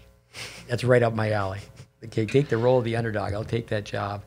And I look back. I think of uh, Bob Larson, who had had it so much to do with job placement, had his own publication. Maybe he still does with Bob Larson's tennis. Is that um, that you know once you get connected, um, the um, but I can remember meeting with John, and that's back when Fitzwilliams, your National Tennis Center, would you call it the National Tennis Center? Yeah, we wouldn't. We probably didn't have a national tennis center. You know, that's well, it was the de facto center. Yeah. well, Fitzwilliams, it was all it was it was grass courts. Yeah. It was not the artificial grass today, and what Right. a what a beautiful facility. But um, the um, that for the longest time, the Irish, um, say the Irish Tennis Federation, Irish Tennis, they really followed the, the LTA, and the LTA was at one point criticized. And I remember it went back to my birth year, so it was very easy to remember. They hadn't made any changes since 1954, and this is like 30 years later. Right.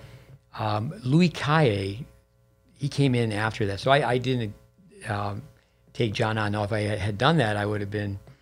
Louis Cayer was in Ireland, or in Britain. No, he's in Britain now, where he's a double specialist. But he um, he put together something was called the action method. Right, and they followed that And what you're saying? So that became Irish tennis. yeah.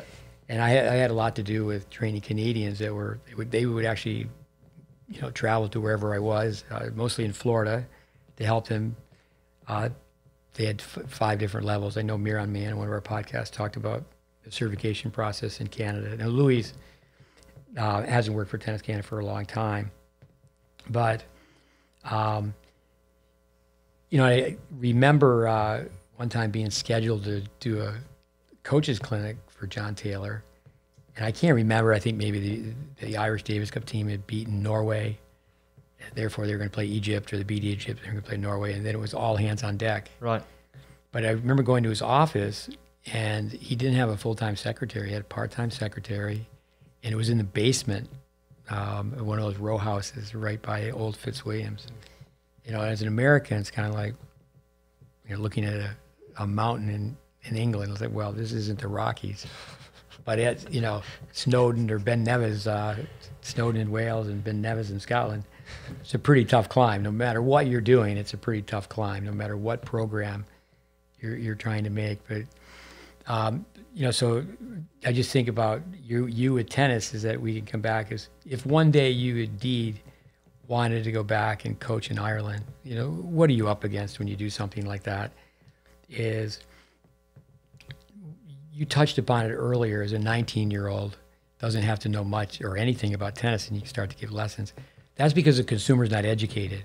The consumer, the parent in junior tennis, they think there's a shortcut. And the glorified sparring partner, I always say in boxing, you wear a, if you're the sparring partner, you wear a helmet and a mouth guard, and you don't say anything.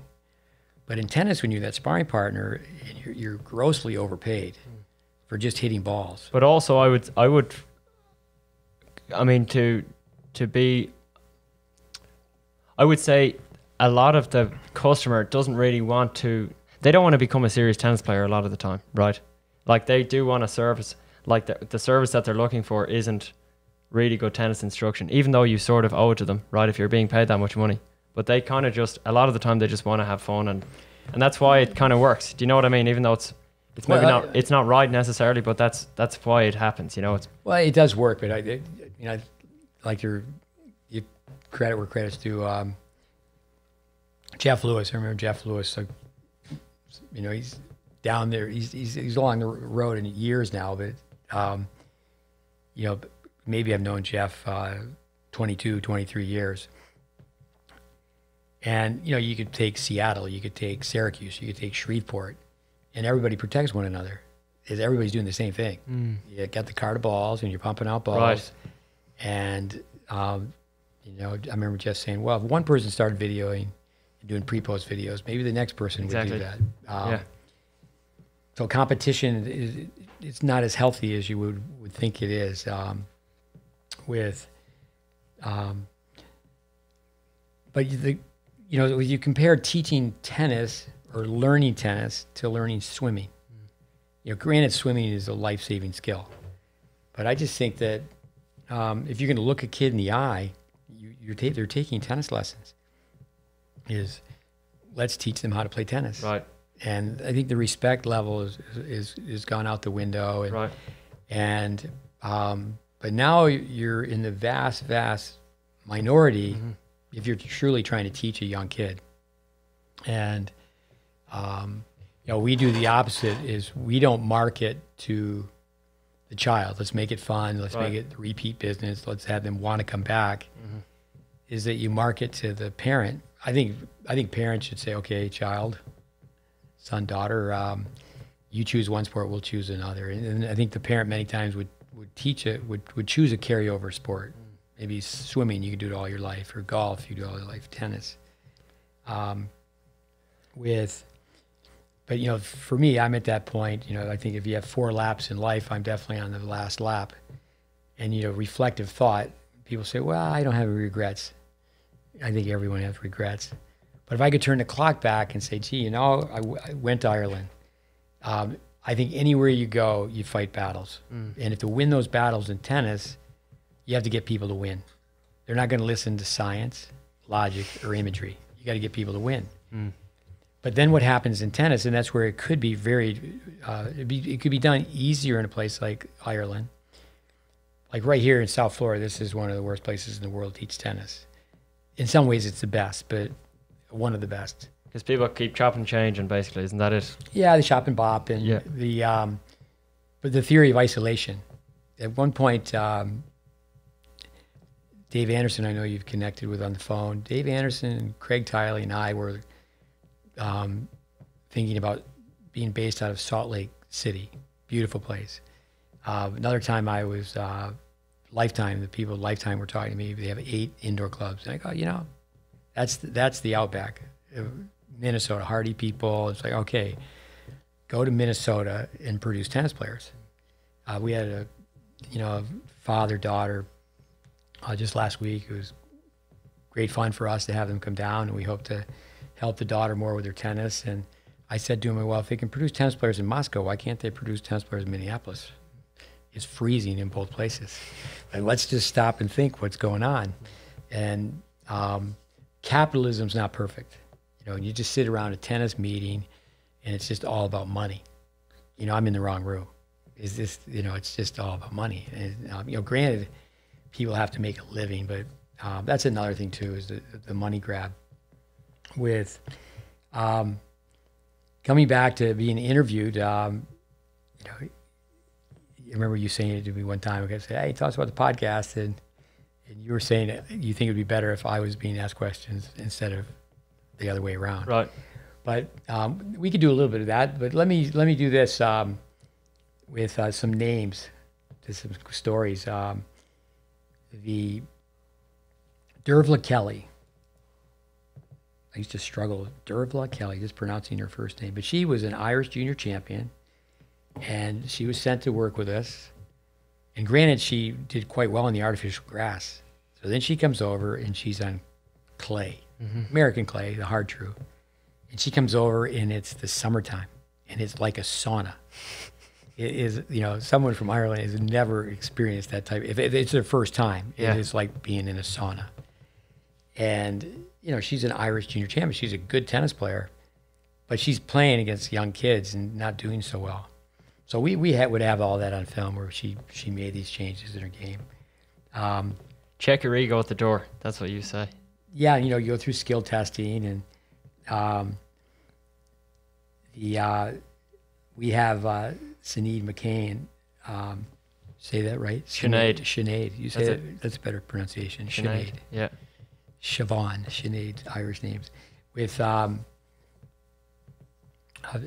a, physical therapist. Um, she directed the Harvard tennis camp. Uh, Brandon Flanagan, he's somebody. Uh, Chad Barrel, these people that we've mentioned their names. Uh, for 12 years, we our curriculum was used by the Harvard Tennis Camp. Um, it's funny, she came over and, and she, she did an in- internship. And uh, so my son Connor came to visit. You know, he used to out traveling, playing tennis. And, and uh, so they, they knew each other from having played mixed doubles. And at that time, I had made a pre post video. And I was, Sinead was giving a hard time. I said, That's why my son is not where he should be. He played mixed doubles with you.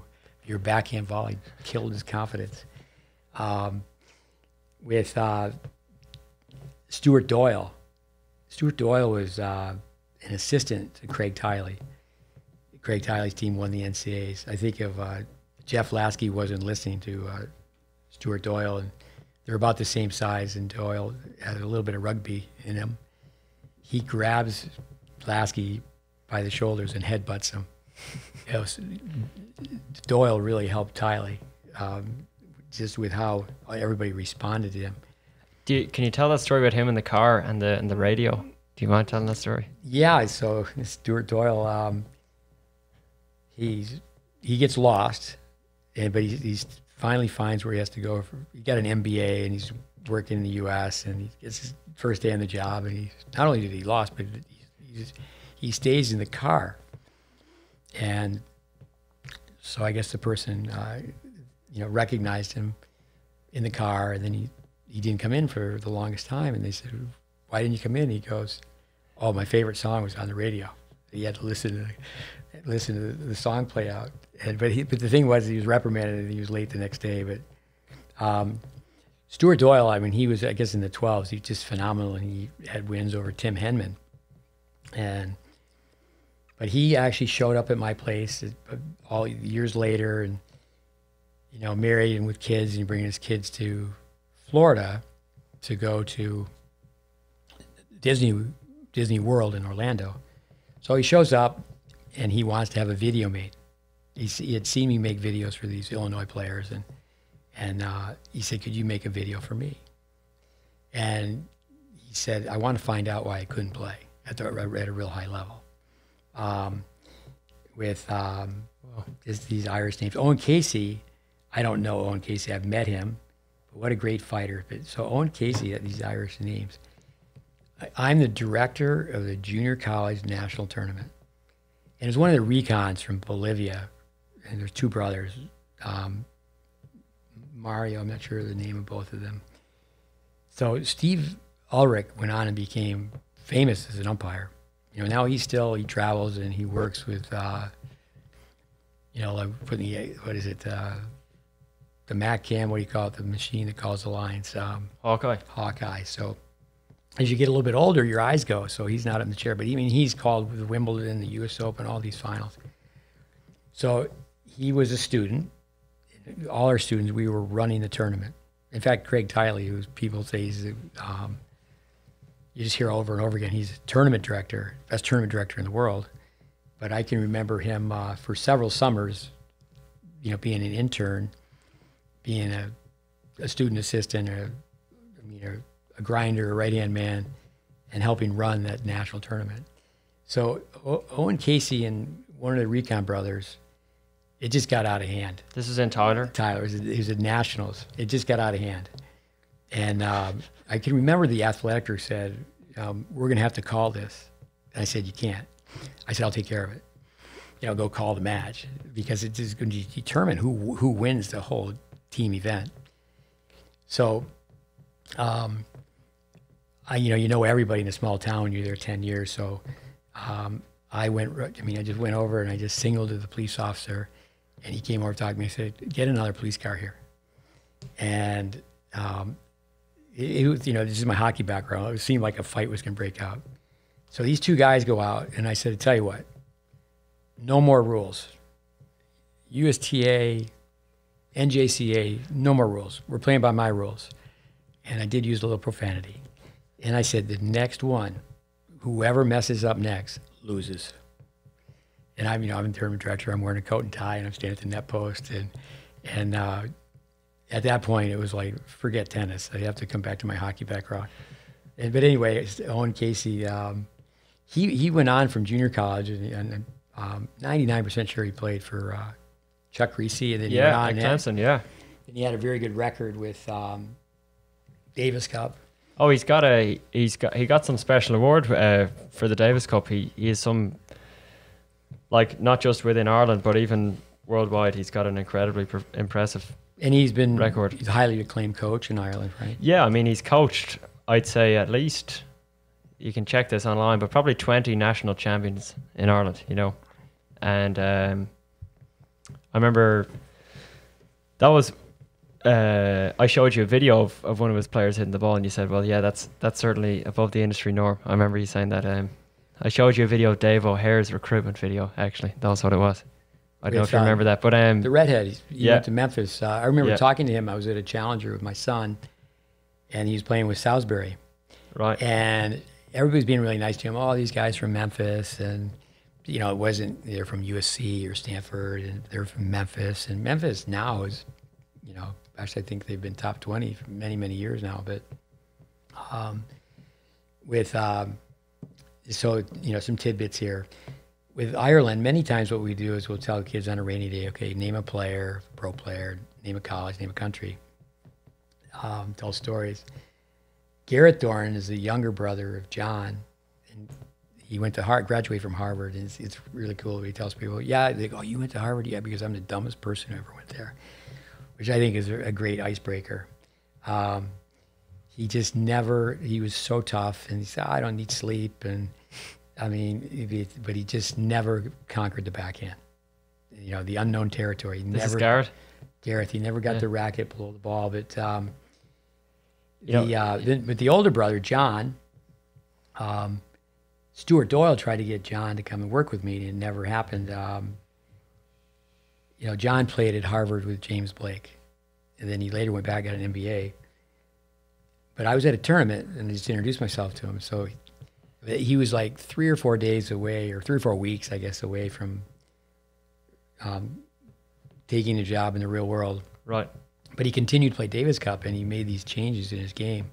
But I remember um, it probably took me to uh, you know 1.30 in the morning to convince him. You know, but he, you know he came over. I remember Ryler DeHeart. Of course, it was on clay, and Ryler DeHeart, you know, as a senior, you know, he really didn't ride his bicycle over. But the, the high school, I just add that to the story, a little, Oh, yeah, little yeah. embellishment. That uh, yeah, he just rode his bike over from this high school that was five miles away, and they played on clay, so we have that on film, and um, you know, and it was fair enough because he was in town playing a clay court tournament. Um, Ryder beat him, right? it- well, you know, when we have a, an assessment in that tape, he, he, he beat him, and um, with, um, but I think that's the case many times with a player is they find out what they really need to work on way too late. So, um, you know, he definitely had some holes in his game. Um, I don't really know Joe Dwyer. I met him. I remember sitting next to him. He coached uh, Anderson Reed, who played college tennis with my son. But tell us a little about Joe Dwyer. He's a personality. Joe is electric is a word that everyone would use to describe him. I've been on the court with him for only probably three or four or five hours maybe. Uh, he spent a lot of time in the states. He used to um, travel with Conor Niland, and he worked a lot with James McGee. So our two top ranked ever Irish players. If if you don't count Matt Doyle, I see his name written down. Matt Doyle's not really Irish, but um, And he also Are you saying I'm not really Irish? Uh, I am actually, yeah. Sorry, but uh, my good friend Julian Bradley, um, he took up tennis really late. But when he was in his late teens, he kind of decided, I really want to play tennis, like seriously, you know. And so, uh, Joe once started talking to him at a at a senior open at Carrickmines. Uh, you probably played that tournament, did you? Carrickmines? No, you only played. Anyway, uh, so Joe is the kind of guy he'll start talking to anybody who'll listen. He's one of those guys who could just talk all day long, you know. And but Julian really listened and he started taking notes about what Joe was telling him. So Joe, I think, was describing playing through the margins and the grid, you know, a lot of the same stuff that you would talk about. He's not the same sort of technician, you know, that you are, but he really knows tennis, you know, in, in terms of tactics and all those other things. So uh, Julian, he has, and- he has a great delivery system. Too. Oh, inc- gets people listening. incredible energy, yeah. Oh, crazy energy, just unbelievable. So His name comes up when you start talking to people about Irish tennis. and people just laugh, you know, because he's because he's such a character, you know. But so Julian uh, and Joe developed a sort of a bond, and so whenever Julian would have a holiday, like from school when he was at North Florida, he would uh, just rock up and spend time with Joe, and so Julian ended up getting to 300 and something in doubles in the world, you know. And this is a guy he took up tennis at 14. Um, I think he got to 900 and something in singles, maybe. So he would say a lot of that was. I mean, he would give a huge amount of credit to Joe. You know, Joe's one of those guys. You know, there's you would you would know this to be true in tennis. There's a lot of people who just really are in it for the money, you know, and they're just in it for the nice Ferrari or whatever, you know, or you're not driving a Ferrari, but you know, the BMW, let's say. But Joel's one of those guys who just really cares, you know, and he's just a great person. You know, he's got a massive heart, and um, yeah, I think he's uh, he's a special person. You know, I, I just wish I uh, I wish I could spend more time with him on the court. You know, but I guess I'm here, so this is I'm, I'm well uh, looked after here. You know, There's so many different names. Breda Claffey, Elm Park. So, so if someone rocks up and they fly into Dublin, can you still go to? Am I saying that right? ELM, yeah, Elm. yeah, and you that you can rock up and uh, I went over there many many times, and you can just pay few dollars and get on a grass court. yeah. I don't know how it works um, now, Adam Park, but yeah, yeah, it's still there. I mean, there's still grass courts, and they actually have a bubble too. So yeah, since you were there, that's one thing that's definitely changed. There's definitely more indoor Oh, yeah. indoor tennis. You know, Yeah, no, I taught in bubbles. Um, out in the country though, there are courts. yeah, And I can remember um, when John Taylor was in charge, I was in Roscommon, an athlete, a small town, and I rode the bike 50 miles to this meet with him in Galway. wow, And, uh, you know, I'm in my late 20s, and so um, I get to the hotel, and, you know, this is long before it's um, cell phones, and there's a note in my mailbox at, at the hotel that uh, he's not going to be able to make it. oh my god, But, but but the thing was is that you know I was there, so I w- was watching this national junior tournament, and um, they're playing on tarmac in the rain. in tar- playing in the rain. Now, Yeah. um, my son Connor was playing the Irish Open, like Patrick McEnroe. You know, they, the McEnroe family they met Harry Hopman, and Davis Cup was so important to him. And John obviously was good enough to play, and they didn't. The family didn't know. Um, there's three brothers. Mark, who's a lawyer, he he didn't play competitive tennis as extensively as obviously John and, and Patrick. Patrick, the youngest. So Patrick went to Ireland, but that's when it was on real grass. And of course, he had grown up playing a lot of tennis at uh, Forest Hills, um, and had all this opportunity to hit with his brother's practice partners and his brother. And so he wins the Irish Open. And the, the idea that he, you know, he couldn't play for the U.S., he would play for um, Ireland. So my son went over. In fact, um, he stayed with the Duran family, John and Gareth's parents, and, and Doran, yeah, Doran, yeah. Doran. Played hockey with a kid named Doran. So anyway, um, the uh, it's in the finals, and it starts to rain. he's playing against Sam Barry. Yeah, and it's uh, you you were probably there playing the 12s or something, right? Yeah, what what year? Can you remember the year? Connor's Well, born in 1990, so 2008. Is that Yeah, right? yeah. I was under 10. I was age nine. I So- made it to the quarterfinals that year. There you go. So so uh, Um, so Connor, he grabs his bag and starts running to the clubhouse. and they go, "Where are you going?" Get And back out there, yeah. um, you know, but it would have been a nice, nice feather in your cap for him to be the junior champion of Ireland. But yeah, he lost in the final, huh? but with that, um, Conor Niland, who uh, played and he played at Cal Berkeley first, he, I think he still is the Davis Cup captain. I think so. Yeah. Um, Yeah. My son Connor with his red hair, um, it's his decision, but uh, I would have liked to had him say yes. He was asked to be on the Irish Davis Cup team. Right. He was good enough to be a practice partner on the U.S. team, but uh, you know, but when a kid gets to be that old, well, it's your choice, and uh, I think that would have been fantastic um, if he had said yes. Um, you know, you mentioned Matt Doyle. I had him down. Um, he's he's lived in Ireland all these years later, but he's a kid from California who, in the '80s, he played Davis Cup for Ireland. Right.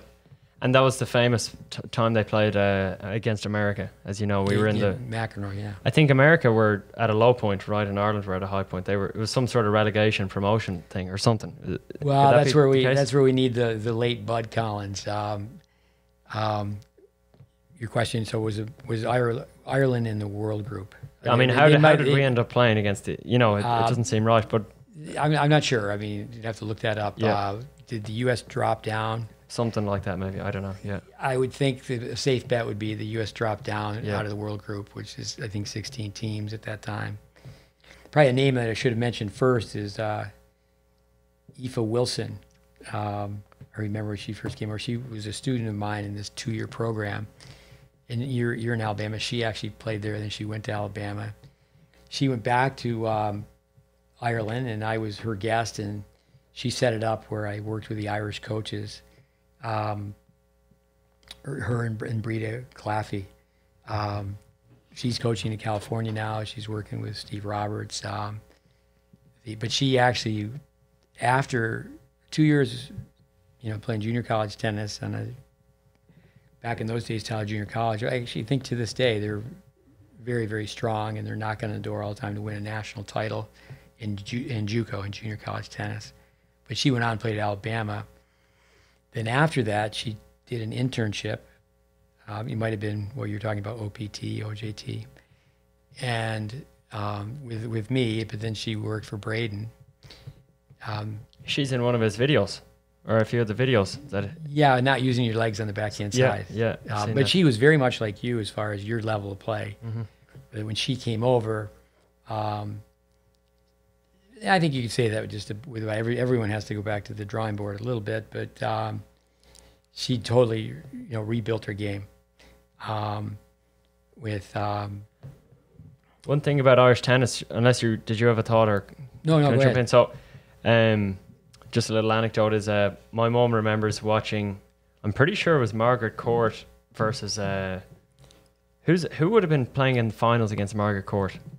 Billie Jean King maybe Yeah, it was someone else. Uh, can you try again? Another name? Evonne Goolagong, No, try again.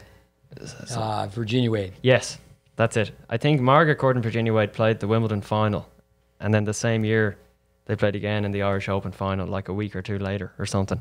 And the the one who lost the Wimbledon final won the Irish Open final. And the reason I bring that up is just to say, like, it's unthinkable that the world number one or or number two could be playing the Irish Open. You know, like Irish tennis used to be, especially before all the money came into tennis. Irish tennis was sort of like connected to it was a natural crossover. You'd play Wimbledon and then you'd come over and play the Irish Open. And you actually had Rod Laver play the Irish Open. Yeah, the, but the men, uh, again, it, tennis history, uh, my recollection, I have total recall, I recall totally what I want to, is the men played in Ireland first. Mm, They played the Irish Open leading up to, to to the Wimbledon, or the Wimbledon, yeah. to Wimbledon. Yeah, and and actually, there's a few Irish men who won, or there's at least one Irish man who either won Wimbledon or got to the final of Wimbledon, like before 1900, way back. And he actually was a murderer, apparently. So if you look up uh, the list of Wimbledon men's champions or runners up or whatever, and look at the guy who's from Ireland, he he was involved in a mysterious murder. So there you go. We, we need to have the, the um, w- one more thing I'll say about the, the, microscope on that. Look that up. Right. One more thing I'll say about the history is um, you may know that uh, sometime, I don't know, was it the 70s or the 80s, but Australia, for whatever reason, thought, okay, this is this artificial grass, it's the next big thing. So they made all their courts artificial grass. And I think a lot of the courts in Australia still are, right? But not all of them, obviously. Now, Ireland did the same thing. We're, we're, we're a country who we see someone else do something and we think, oh, we better do that.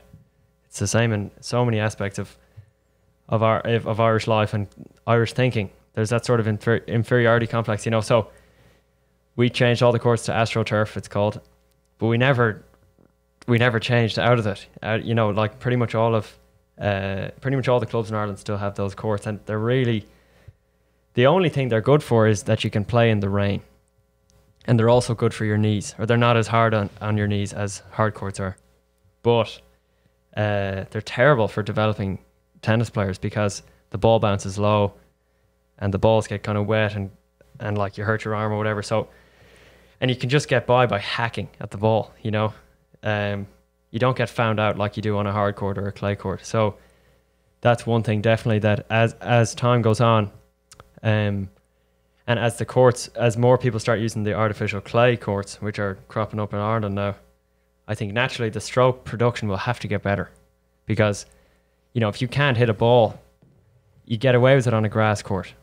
You, get found out on clay. I mean, that's one thing I discovered coming over here. I used to win a lot of matches in junior tennis in Ireland just by hacking and, and just hustling, you know, just making balls, running, running, running the ball down, and guys would miss. You know, they just um, John McGann would call it slap town. You know, uh, but then I got over here, and and these guys have a basic level. The people playing in in in that in that level that I was playing at, uh, Division Two at Lander, like all the guys have. They have what I have in terms of the being able to put the ball in, but they can actually hit the ball pretty well too. You know, so I was just. I was way out of my depth, you know. So Well, I do think the surface is a big thing, I think. uh, it's such a bonus to uh, to grow up on clay. Yeah. Like McEnroe, for example, he was a baseliner.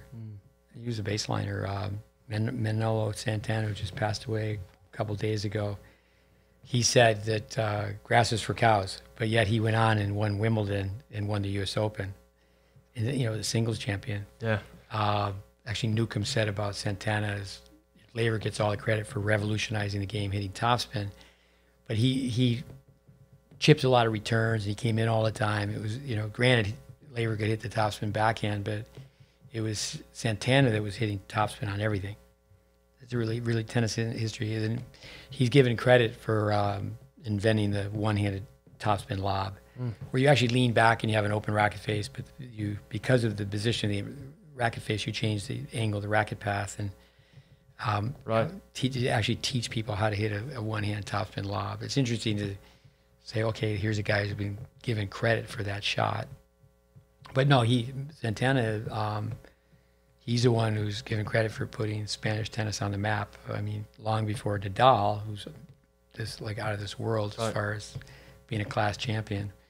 Um, but we started off with the idea that uh, maybe we could do this uh, uh, another time. But let's go with a few questions. I you uh, you know you asked if to uh, interview me. Um, let's go with a few questions. Uh, I, I know we with our podcast. Um, we get a lot, we get we get quite a bit of feedback, and you know some people say, "Oh, they're so long," but we've had it's amazing. We have people who said they like the platform.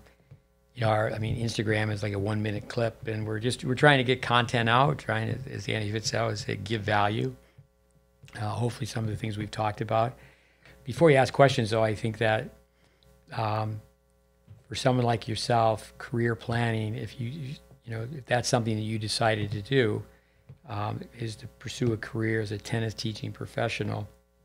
Um, you know, to go back and make an impact on Irish tennis, um, it's not a simple task to um, build a program, build a culture, and get people to listen, get people to change, get people to unite, get people to work together. Um, but at best, it really starts grassroots level, and you know, someone if someone had that goal that I'm going to, um, and, and again, I think I think back to you know I, I could have could have done that. Could have gone to Ireland, actually through Welby Van Horn and uh, Philip Eisenberg. Uh, Philip owned Welby's camp. Philip put it together where I was offered to be the national coach in Puerto Rico. At that time, married, two little kids, there was so much travel.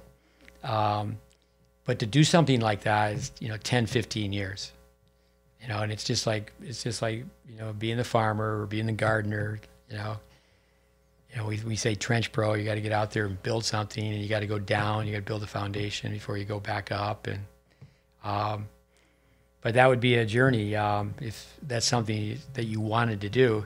But also too, like you mentioned, Galway, a beautiful place in the west of Ireland, and uh, you can make it happen there. But it'd be a matter of okay, real estate component, getting tied in with the school, and then the complete athlete, and starting with people at a really young age.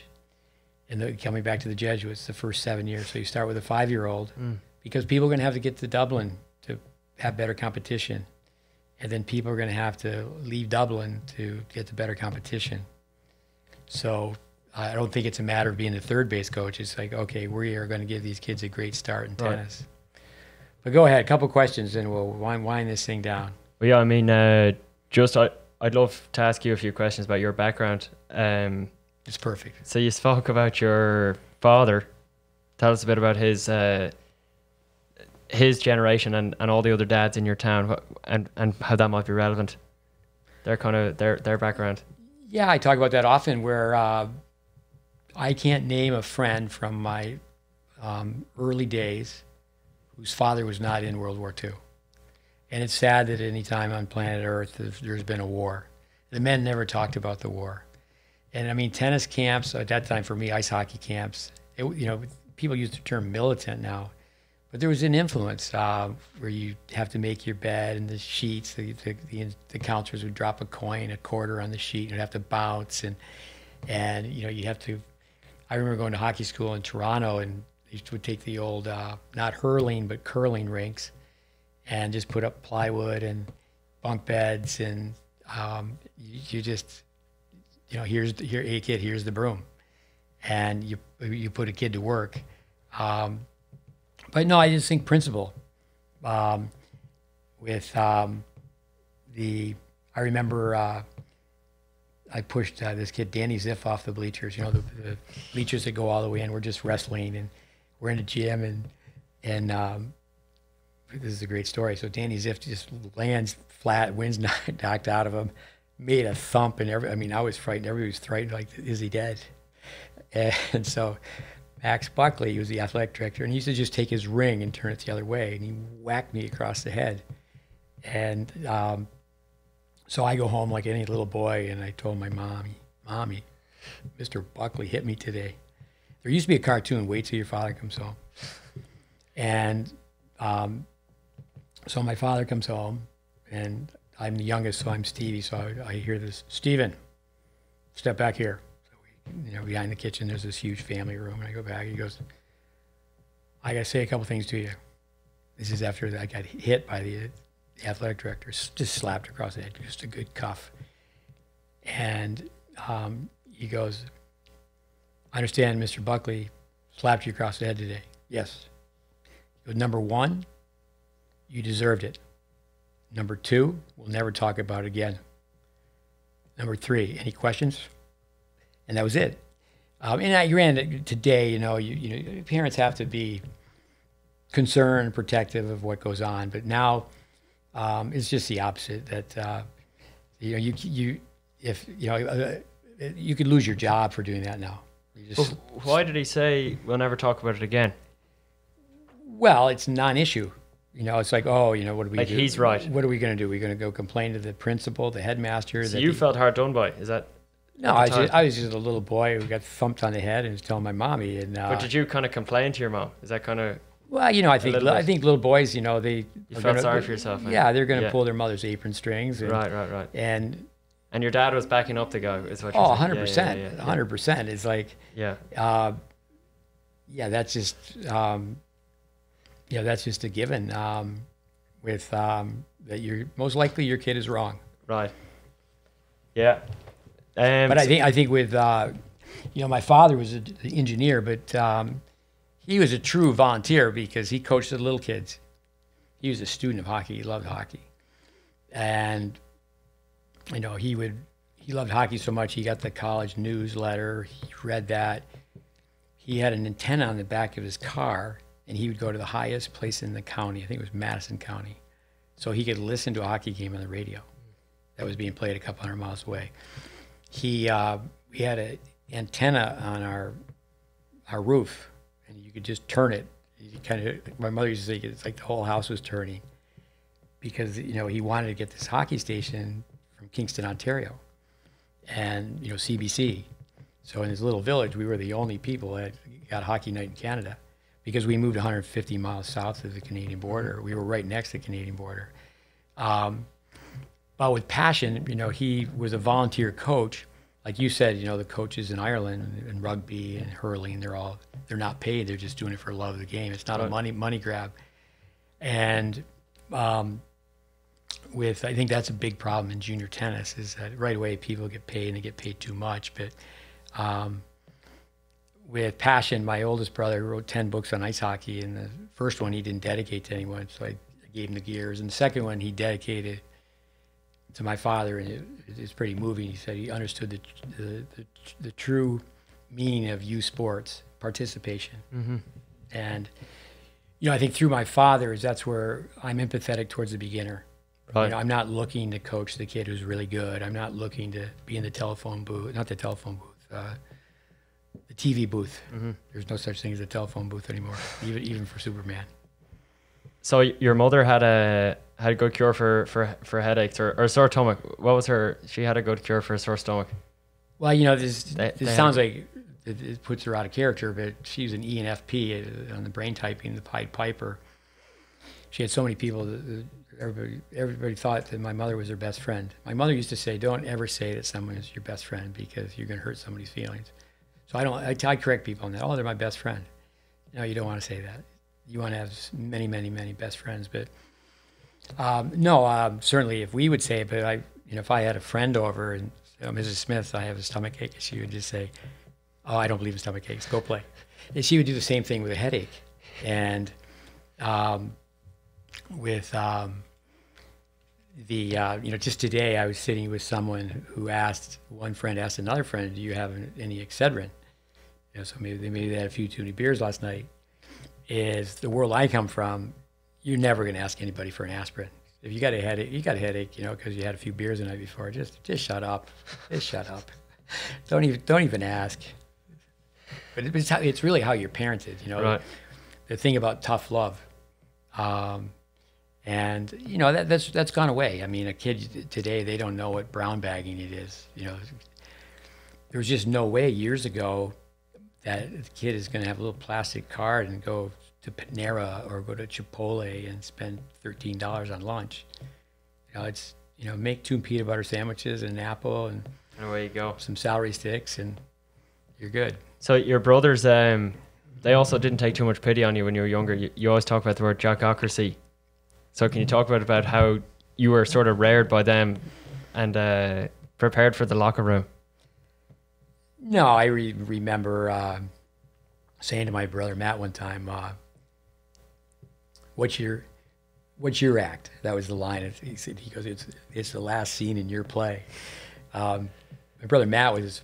Uh, I have so I'm from a family of eight. So my brother Matt I used to call him Phil for philosophical. He was easygoing. So.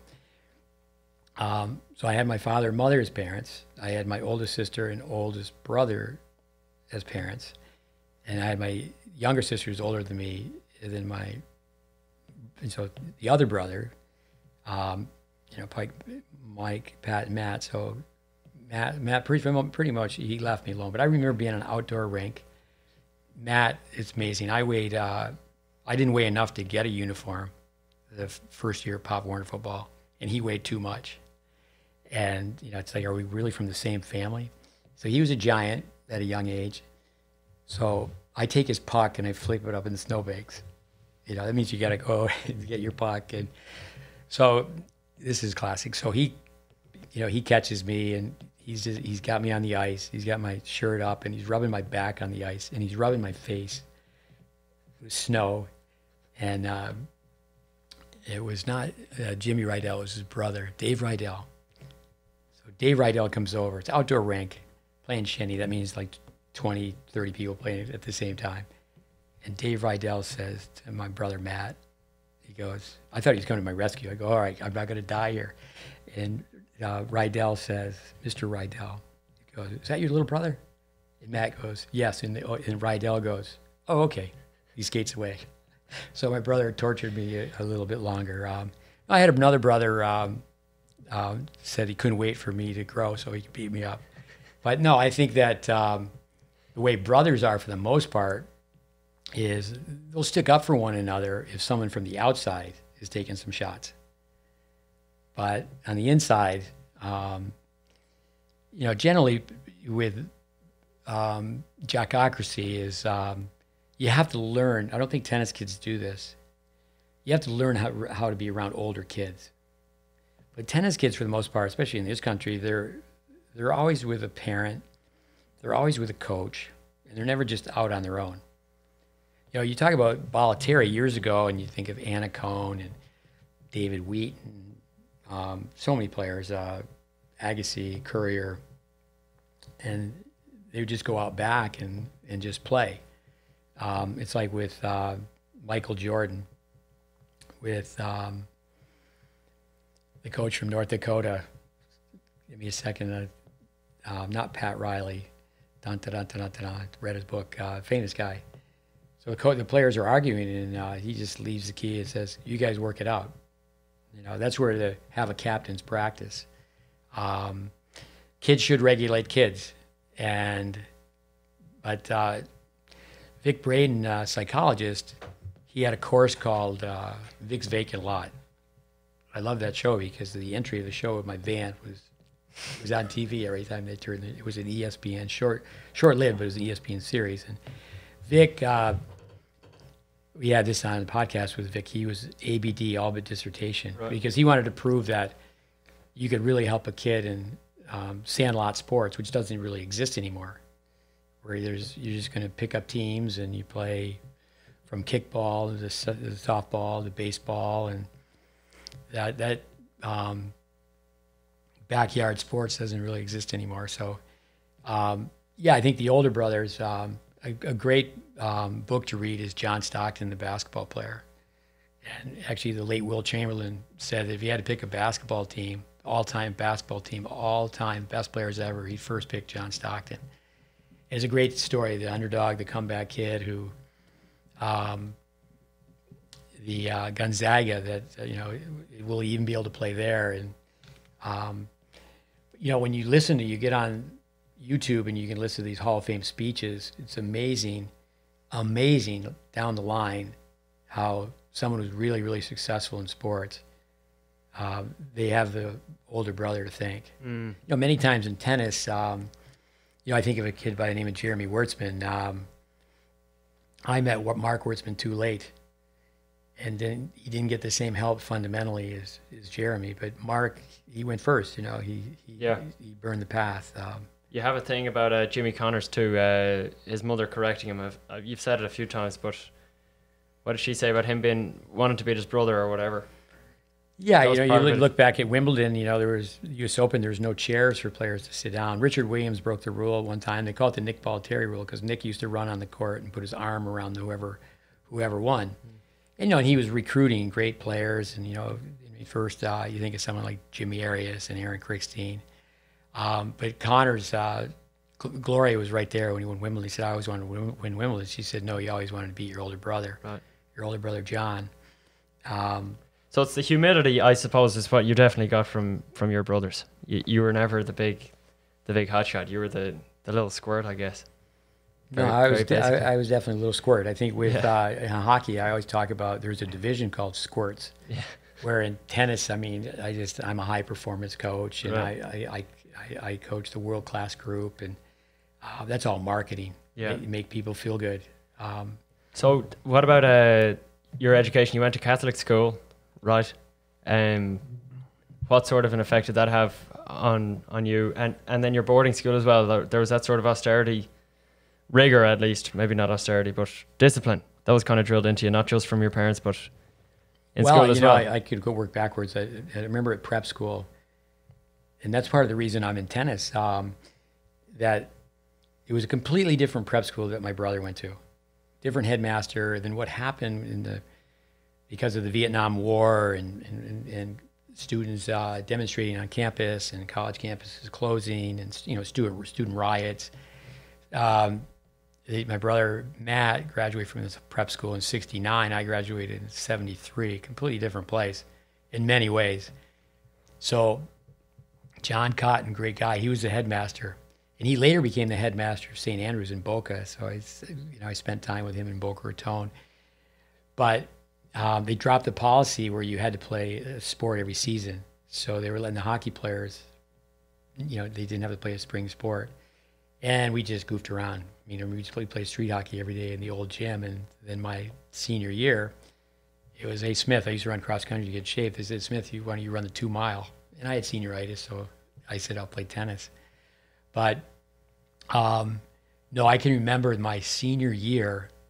I always tell people I was I was the top ten in my class. There was only seventy in the class, and I was ten, so I wasn't the top ten percent. I don't think they even do class rank anymore. And so we go to a meeting, all the seniors, and it's all boys, all coat and ties, and they tell us that we can take classes the last semester, pass fail. And how does this work?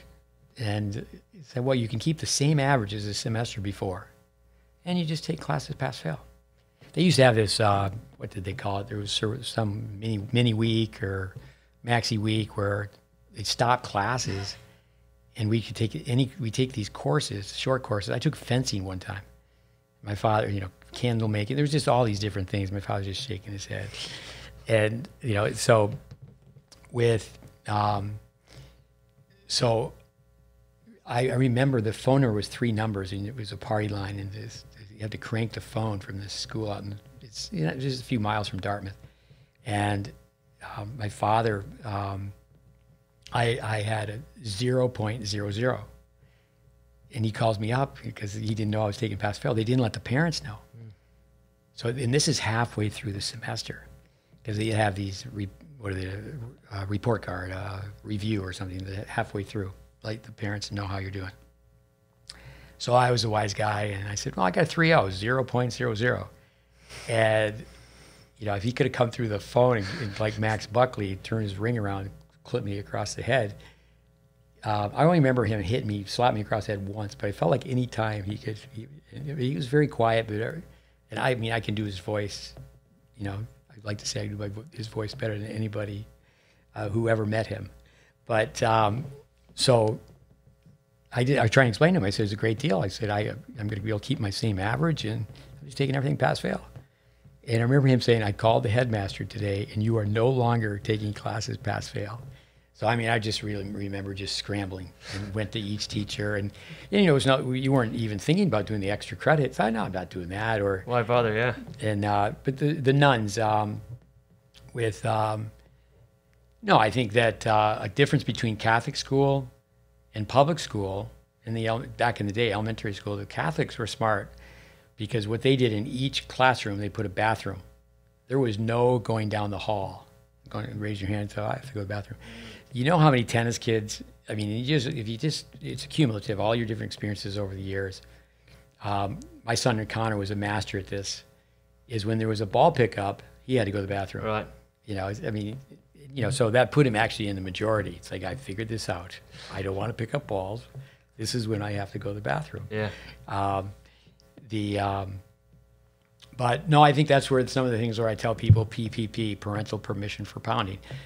I mean, that's when I went to Catholic school. That's what the nuns had, and um, you know, granted, there's certainly times where it could be abusive, but you know, Lou Holtz. It used to be where uh, a student would ask, a child would ask, what are my obligations and responsibilities? And now they want to know what are the rights and privileges. Right. So the tail's wagging the dog, things are upside down, things are backwards, and um, yeah, it's not going well. There's a lot of parallels with tennis too. I mean, if if people like the customer is the is the kid. If the kid's not happy with how the coach is doing it, the coach gets fired. You know, so yeah, that's then, one parallel you know, then, then, then it comes down to the bottom line is that uh, he wants to make a living. you know, I traveled and I've worked as a consultant, and I go and I say, well, and you go and you observe and you see the program, and you know, it's organized crime.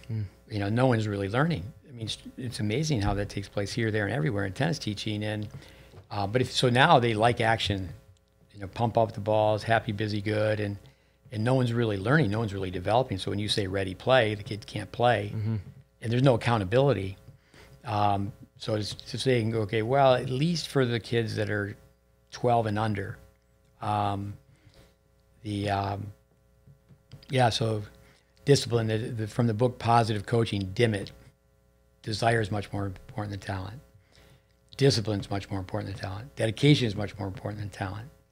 And you know, don't get D's in school, but understand those D's. You know, desire, discipline, dedication.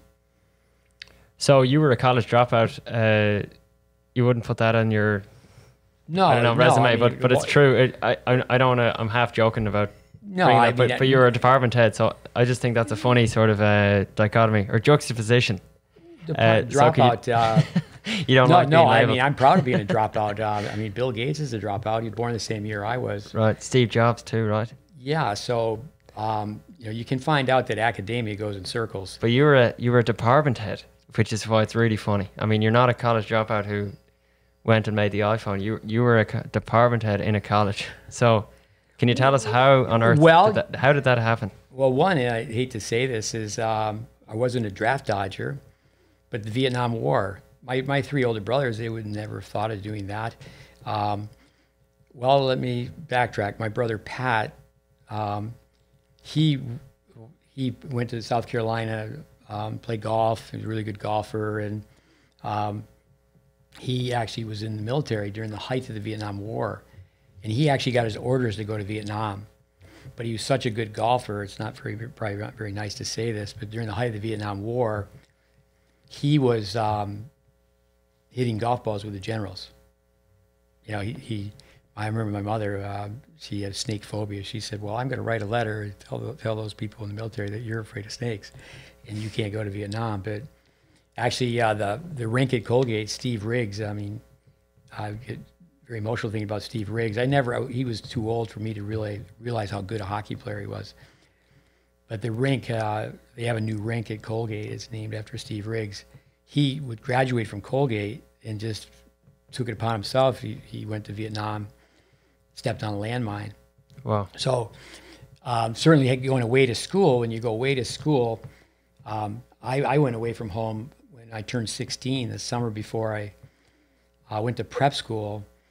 Um, in fact, it was before I turned 16, um, which you, supposedly you had to be 16, but you know, you, your parents know somebody. And so I got a job in the Adirondack Mountains working as a dishwasher. And it's just, I remember my father saying, you got to learn what it's like on the other side of the tracks. And I, I grew up on a lake, and I remember this mountain camp. There was, a, there was a lake, and it was like, it was just great for me. You can't use these canoes. You can't use these sunfish, these sailboats. Um, so, then, to, then they go to prep school. Um, you know, so it wasn't, you know, for, for a dropout, um, you know, Mark Twain, don't let, um, don't let the classroom interfere with your education. With, um, you know, I have a couple older brothers that I think my our, our mom helped them so much with their their academic side. You know, helping them type paper after paper, and and uh, you know, I just you know, cynical. You kind of look back and go, well, you know, is, is this really all this academic thing? Is it really all worth it? And um, the um, uh, when I I ended up being at Tyler Junior College, and I qualified based. You see these ads where equivalency of. So I had all this clinical background. Plus, it's not what you know, it's who you know. I mean, I talk about the late Eugene Allen in one of our podcasts. Um, but I was taking, I was allowed to go to grad school. And, you know, I think of Ed Faulkner, who wrote a great book. Um, I should be able to just tell you Ed Faulkner's book. He was really well known in the 60s, and he went to Cornell. And he never graduated from Cornell. He just took classes that would help make him a better tennis teacher. And when I was taking um, undergrad and grad classes, um, I eventually stopped and just started coaching juniors. I already, already was a department head.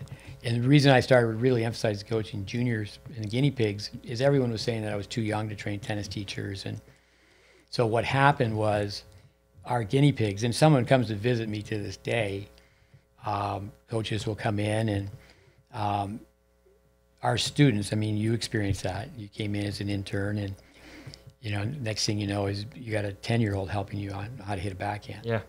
So no, I, uh, you know, to drop out, um, I think for my, coming back to the little boys talk to their mother, I remember getting the idea that I said, I want to pursue tennis. The tiebreaker came on the scene. Tennis was on TV. Tennis boomed and telling, telling my mother, I said, I got this idea that I, want to drop out of school and pursue a career in tennis.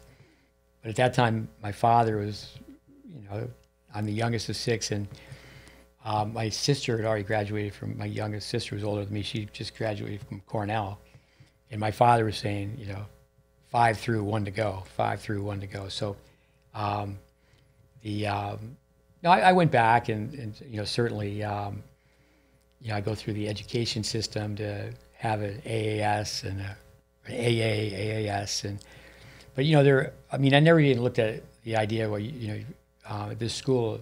Um, you know, that's when where uh, Craig Tyler ended up spending so many years with us. He was at the junior college, but then down the street was the University of Texas at Tyler, and um, you know, they had a four-year degree in general studies, but it was like um, I wouldn't recommend that.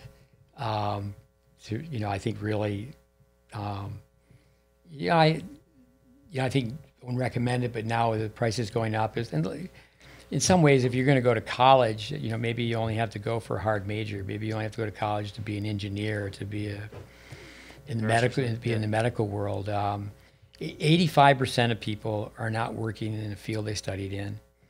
85%, that's an amazing number. I used it earlier. 85%, give or take, kids who don't make their lineup as a freshman don't make it as a sophomore. 85% of uh, people who start a business, they don't make it. The business doesn't make it. So uh, I'm gonna go another question or two. As maybe it's a long podcast. Yeah, no, no worries. Um, well, you mentioned there was a guy you would play tennis with. He was uh, the chair of the board of trustees at at Tyler, right? And one thing that he knew about you was uh, you said you knew tennis. So how did you go from uh, dropout? College, yeah, dra- but and but but like, how did you get to know tennis? You, you mentioned I'm not just going to go to a conference and, and listen to someone talk for an hour. I want to go. You use the, the phrase. I want to know what toothpaste Braden is using. So so you went over. How did you how did you approach Braden, and then how did how did you develop that relationship that you had? You know. Well, I think yeah, I think you have to read. Uh, for me, um, it's amazing. I think I get Sports Illustrated. I mean, in some weeks, I mean, issues I don't even open it. It's really sad. I mean, I used to read it cover to cover, and you know now you just you know there's some fun things. I mean, I think on a daily basis. Just um, it was yesterday. Dave Anderson sent me a film of one of his students. Uh, you know, 83 years old, and he's coming back from shoulder surgery, and he's drop hitting the forehand. Panam Paul, same day, she sends me a film of a young five-year-old hitting the ball, six-year-old hitting the ball really well. Same day, uh, Joey Johnson sends me a film. His son Spencer's on a mission. He's hitting against a, a, portable backboard, and you know we've recently made a video for him again, again, again.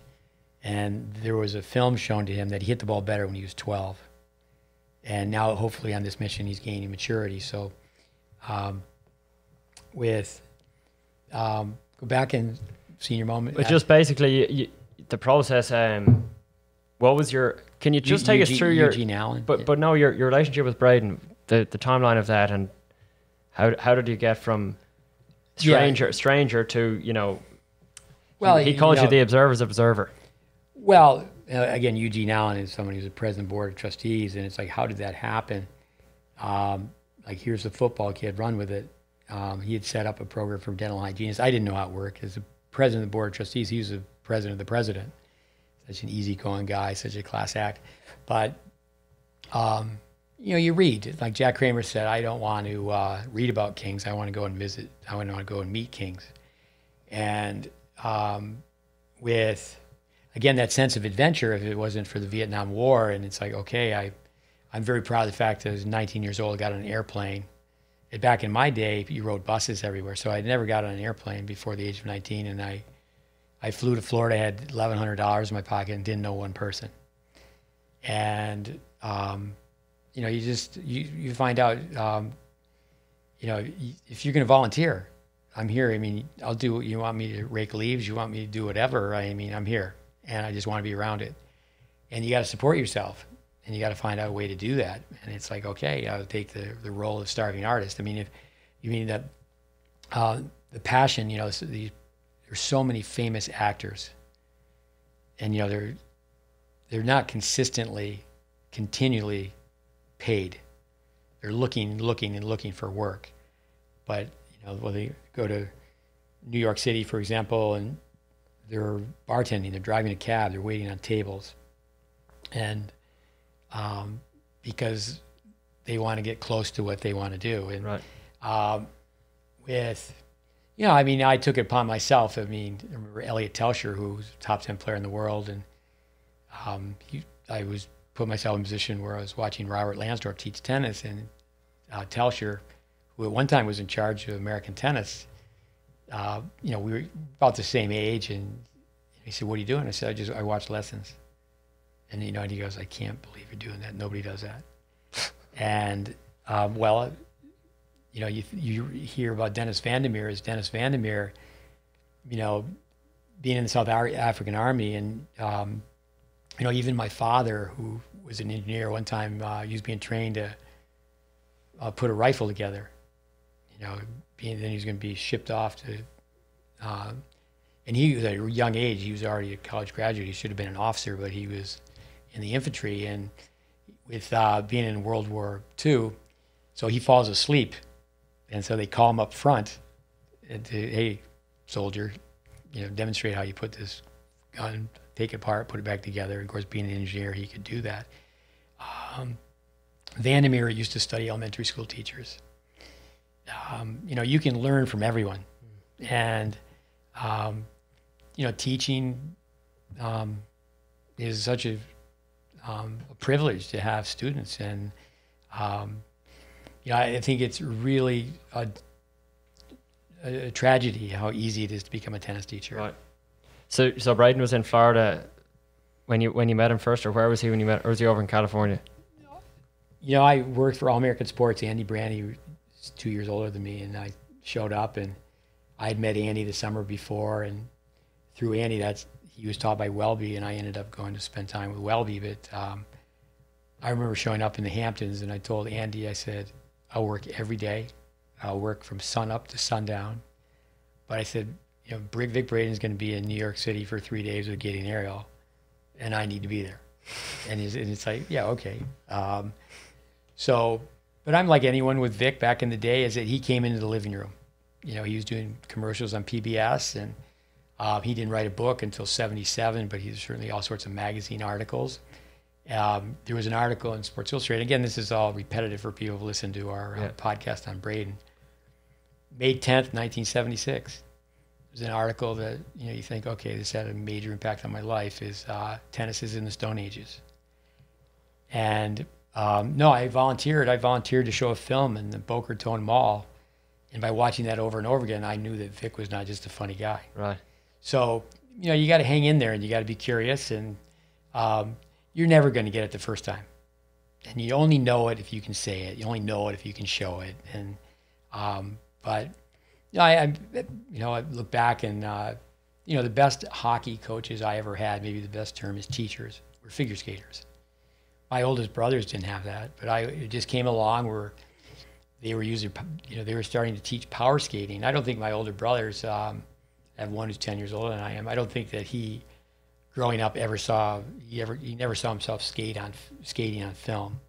Um, with, um, no, I just think growing up in this small town, watching a high school, Sam Vola, watching as a seventh grader, my study hall, lunch period, and PE class, watching the football game on a Monday that I went to on a Saturday Right.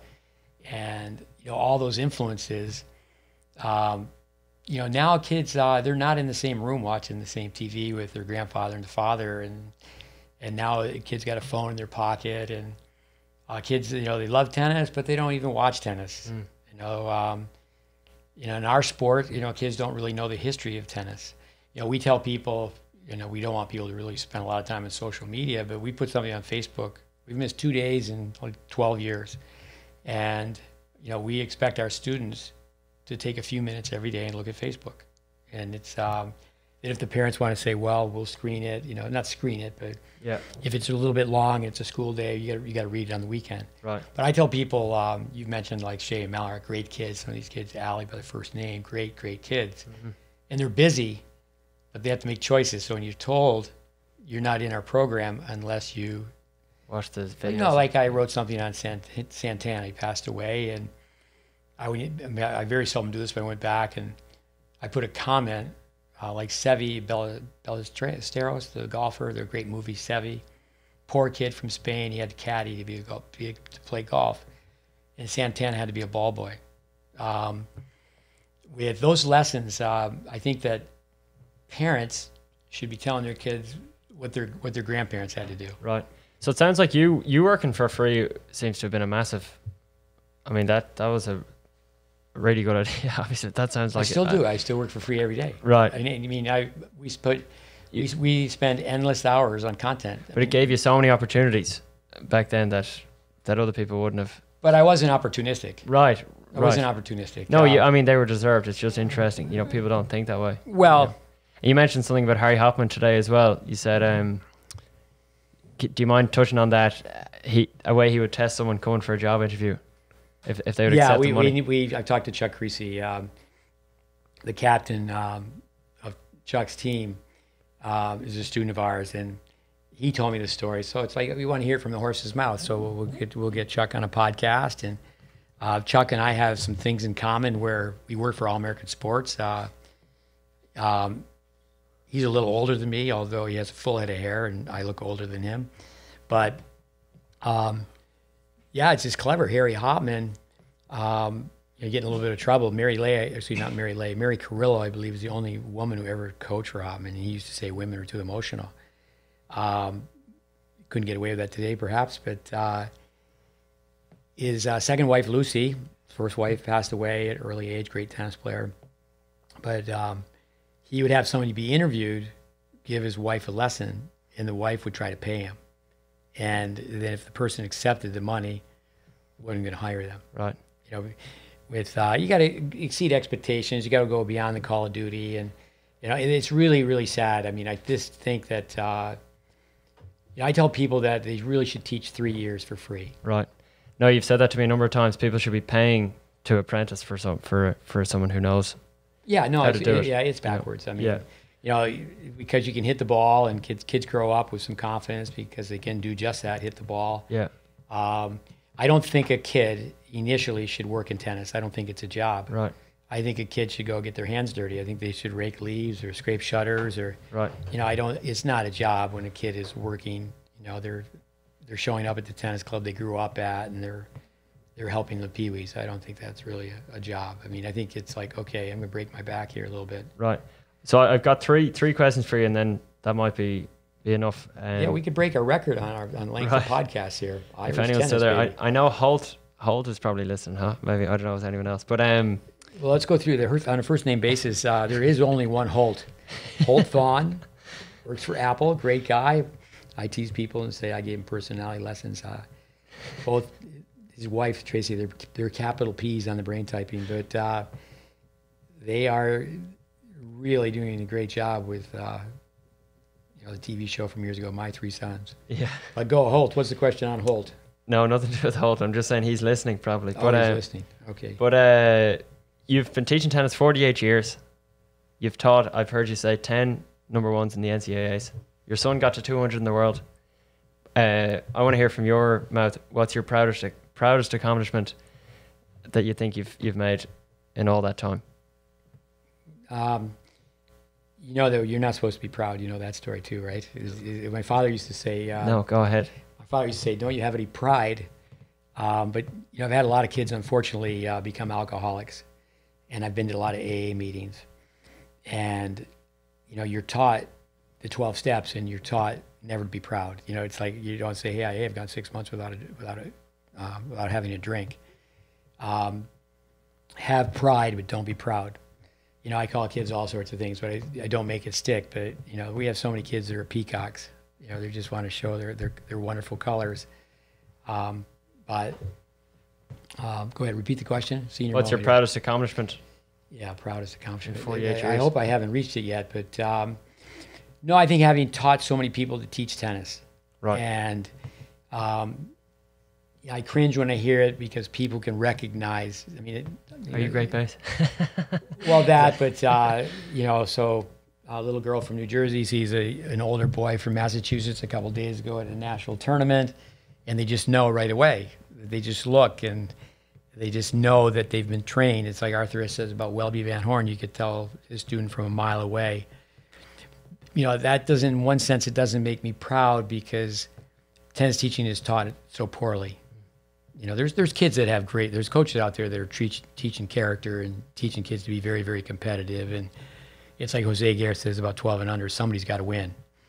Um, but um, no, I think um, you know so many things. I could say uh, I was in a conversation the other day with a highly educated friend who's um, meeting Brandon Flanagan for the first time, and and he's talked about my oldest son was the best in Florida at 10, and my youngest son was the best in Florida at 18. Well, were they really the best? You can't go by ranking, but they're ranked one. And it's like, well, okay, what we're doing may work. You know, uh, with uh, Ryler DeHeart, what a great competitive spirit. Uh, We talked about him a little bit last week with Ed Krass, and um, I understand he's playing pickleball now. But you know, so now there's a kid who became number one, and um, with uh, so many with kids that um, you know, like Liam Draxel, I think has spent more time influencing his dad than Liam. But he, you know, there's a kid who'd be number one. But we're not telling people that we that, that he that he's one of the kids we worked with, even though we did work with him. So, um, with uh, you know, you know that's certainly great. But oh yeah, this kid became number one. Um, but I think that it comes back to Braden is, uh, you know. You know, some kids are good despite the coach, and you know, did you really help a kid with their confidence? Did you help a kid go on and, you know, have a better work ethic in school, and because of that, they learn to shake hands, look someone in the eye, and send a thank you note. And and um, no, I think you know certainly I can't take credit for that, but I mean, there's so many people that you know if they become a pillar in society, you know, a good citizen. But you know, did they learn character? I get a lot of apology letters from people that you know sometimes it's from 10, 20, now 30 years ago, and you know now they have children and they look back and they know that they didn't get in line and, and, and do what they were told. But Wow. um, And what would they be apologizing for? Just not listening to you, basically? um, being a negative influence to other students, you know, being a cancer, it's a very tough word. Um, that's how coaches talk, though. Hey, You know, it's terrible. You shouldn't really talk that way. But But a bad apple, let's say. bad apple is better than, you know, to really say that kid's cancer, he's eating away at the program. And This is at Tyler. No, it's it's everywhere. or just It's different programs But- you were but- running. No, but it's everywhere. I mean, Tyler. I mean, let- let's look at it. You know, if you looked in decades, you know, so I'm 67 years old, and and um, so I'm heading towards 70. So it's seven decades. If you were to think in decades, you know, you can think in days too. But you know, I spent 10 years in Potsdam, New York. I spent 10 years in Tyler, Texas. I spent 15 years in Tampa, Florida. Um, I've, I've done some short stints. I did this for two years. Like, like recently, you hear people talk about tennis in Memphis as nonprofit. But um, no, I think that you know where you put yourself second, you know, and you put your students first, and it's like okay, I just keep going and going, and going, and um, it's um, you know what we do.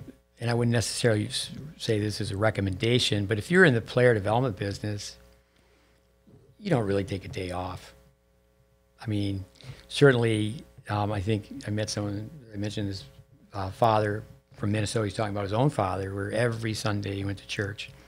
So he took, he didn't, he goes on, he goes, but by Sunday evening, his father's sitting down and going to work. and then so that his father's done it his whole life. So consistently having a work ethic, and, and in the end, what are you working for? Um, you know, you have to have a cause that's bigger than yourself, and you know, it's uh, I guess you could say we're, that I'm a dreamer, and have some people like Andy Fitzell and others that have helped me out so much. Is that care about the game? Who are the guardians of the game? Tennis is in trouble. Tennis is in trouble, and uh, the leadership of tennis. Unfortunately, they don't really know tennis. They mean well, but they just don't know tennis. Um, so, um, no, I think just be proud to get up every day, and you know, I think it's kind of like a drop in the ocean. Um, but you know, we don't get up with the idea of okay, marketing, and you know, how can we make money, and it's like, you know, it's uh, it's, it's, it's a, a group, and I have you know people, uh, hopefully like yourself, we in, inspire uh, to uh, aspire, and that uh, you know, really be caretakers for the sport. I think that'd be something to be proud of. Making tennis teaching better, yeah. So, uh, one of the things that you teach teachers how to do is teach kids how to play tennis, right? Now, a lot of kids come to the tennis house with you because uh, not only do they want to learn how to hit the ball better, but they the parents want them to learn character. So, can you give us some some top tips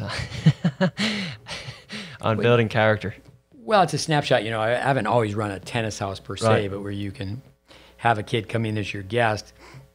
You know, that's actually a spin off. I hate to even say it 9 11. One of my brothers was a vice president for Oneida Silver, and he lost his job because of 9 11. You know, people lost their lives. And then what happened with Oneida Silver is uh, air, airlines didn't use any more, uh, they, they went to plastic utensils so that company, you know, what happened to that company is you just think, gee, this is what happened 9 11. It's, it's amazing when things um, happen and then it's. The knock on effect, yeah. Yeah, exactly. So um, at that time, you know, uh, you know, you have children, and it's like, okay, how are you going to pay for the orthodontist? How are you going to pay for this? How are you going to pay for that? And so I used to have groups come from all over the world, and they would stay in hotels. But for um, with 9/11, for six months, it was like no one's ever going to travel again. So what I did is I said, okay, I'm going to put together a, where people can come on an individual basis.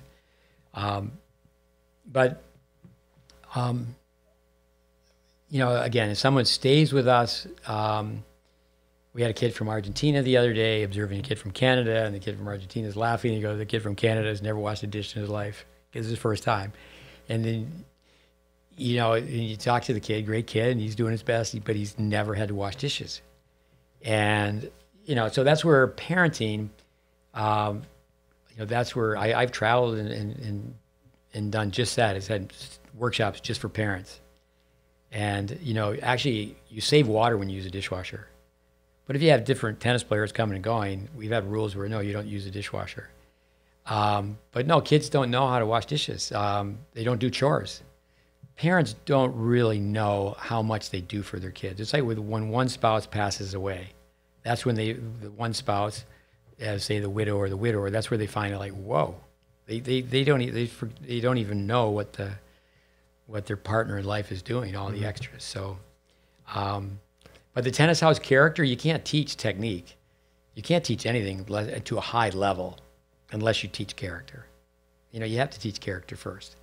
Uh, but it, I don't think really that in, in the tennis cultures, tennis so-called tennis cultures, that that is much. That, not much is going on. I mean, it's. Uh, I don't want to be in, insulting, but most people in tennis are providing a service, and they're working hard. They're in the hot sun. They're dragging the balls out.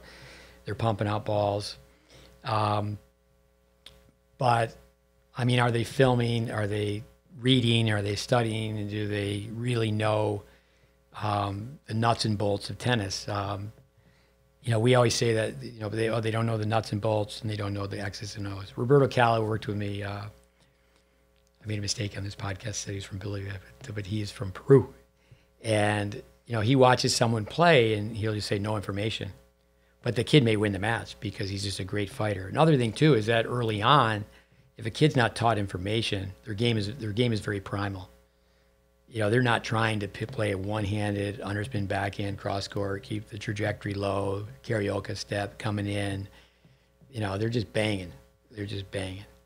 And uh, you said it earlier that you were really wound up by just wanting to win. Yeah, winning is a drug. So, someone you you got that from one of the Indian parents, I think, or something, right? No, Octavio Garcia. Oh, um, actually, I'm supposed to talk to him tomorrow. Bright, bright guy, and um, you know, I'm very, very fortunate with parents. Uh, I've learned so much from parents. Um, I've also learned, I'd say, the do's and don'ts. Um, you know, I, I just can tell story after story, and you know, a lot of times you don't want to use names for sure, but uh, people make a decision, and you just know that's life altering. You know, they've made this decision, and it's like, you know, why you know that's not the best decision. You know, your your, your kid wa- your kid says they want to be a competitive tennis player, and you know, sometimes you make you make those tough decisions where, you know, you're going to be away from home, you're going to miss a holiday, um, you know, that type of thing.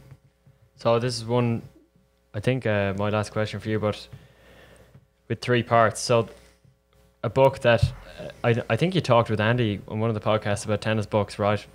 Now, if you're to recommend for a tennis teacher, a tennis parent, and a tennis player, maybe the answer to all those questions is uh, tennis for the future. But a book for those three demographics that they should read. Do you think? Um, could you answer that? Uh, we were talking about this this the other night. Um, bounce, talent code, talent's overrated, um, and I'm forgetting one. Um, but it's all about how the brain works and how you have to practice. and- That'll be for teachers. Um, no, I, I think For I think I think three? it's I think it's all one. I don't Okay. I don't think that you separate this is for the player, this is for the teacher, this is for Right. the coach. Is that you you really want to teach everyone to be their own coach, and you know the parent might take the role, which is ideal that we can be. Um, and again, I should be able to tell you, a woman uh, wrote this in a USPTA magazine: conscientious neglect. You know, the parents conscientious neglect. You know what your kid's doing, and but you, you find a way to um, let let somebody else, you know, be the teacher and be the coach. And ideally, it would be great if the the player played, the coach coached.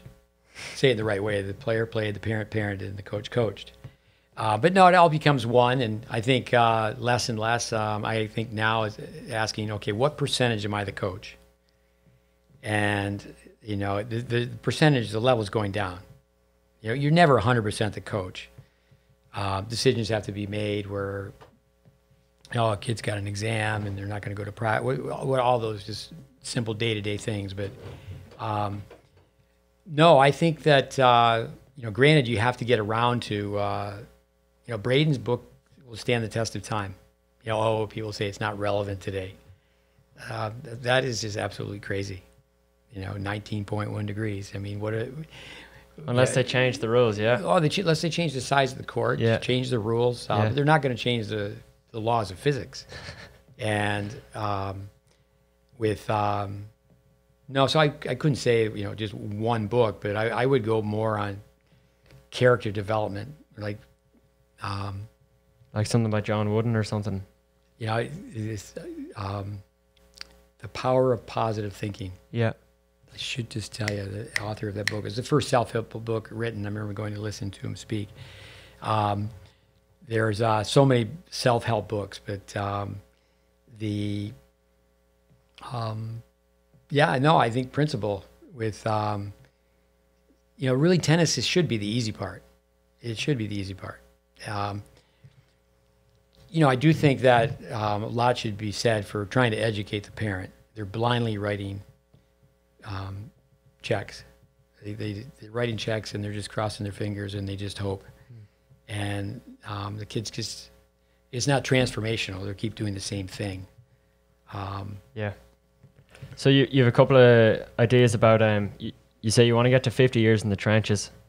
And then do you mind just telling people what what's the plan after that? You, you've talked well, about you know, yeah, okay, yeah, it'd be nice to go two more years. I mean, it'd be nice to, uh, you know, have more more time on planet Earth. But um, with, you know, we have plans to have the GreatBase become a nonprofit. Uh, it's not making a profit now, but um, you know, I go way back to Dave Fish telling me that, and Andy Fitzell, uh, he, he coached me on that. I said we, we just need to have one, two people. We need to do a much better job getting getting content out. Um, you know, people should. You know, I mean, you got to listen to your critics. Someone said about um, our course, tennis intelligence applied, it's like drinking from a water fountain, or excuse me, it's like drinking from a fire hose, or it's like you go to a giant buffet. But if someone says, "Okay, I've got a five-year-old, what do I do?" Um, no, I saw. You know, it's like anyone. What do you want to do? We want to do what we're doing, but do it better. And um, you know, I there there is no secret sauce. I mean, you hear people say the game is evolving. Yes, the game is evolving, but not to the point where the alphabet's no longer the alphabet. The numerical system is no longer the numerical system. And it's just crazy. The, the tennis discussions that turn into arguments, they start with a forehand and they end with a forehand. And I mean, it's just, it's, it's tragic. Kids can't go to the net playing doubles. They can't go to the net playing singles. Kids can't play approach volleys. They, you know, you go to a tournament, you don't see a kid hit one overhead. I mean, it's, it's, it's a tragedy. And, but it's, you know, we've heard it over and over again. You know, crummies playing crummier. You know, who wins? Crummy wins. They don't know they're crummy. And, um, you know, it's that with the Braden study, true, a true Braden Bradenite.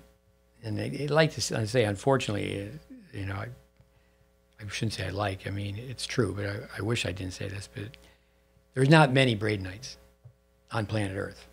There's not that many people walking around that really knew what Vic Braden stood for from an, an, academic standpoint. They think they know. And, you know, it's like myself, all the years I spent with Vic. Um, I spent, uh, and that's where it was great to spend time with Andy.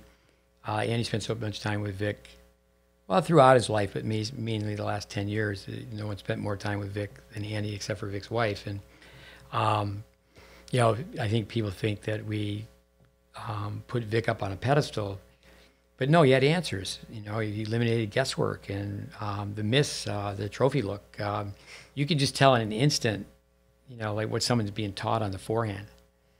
And you know, people watch what we do and they go, "Oh, that looks so slow and so mechanical," and um, don't judge the unfinished product.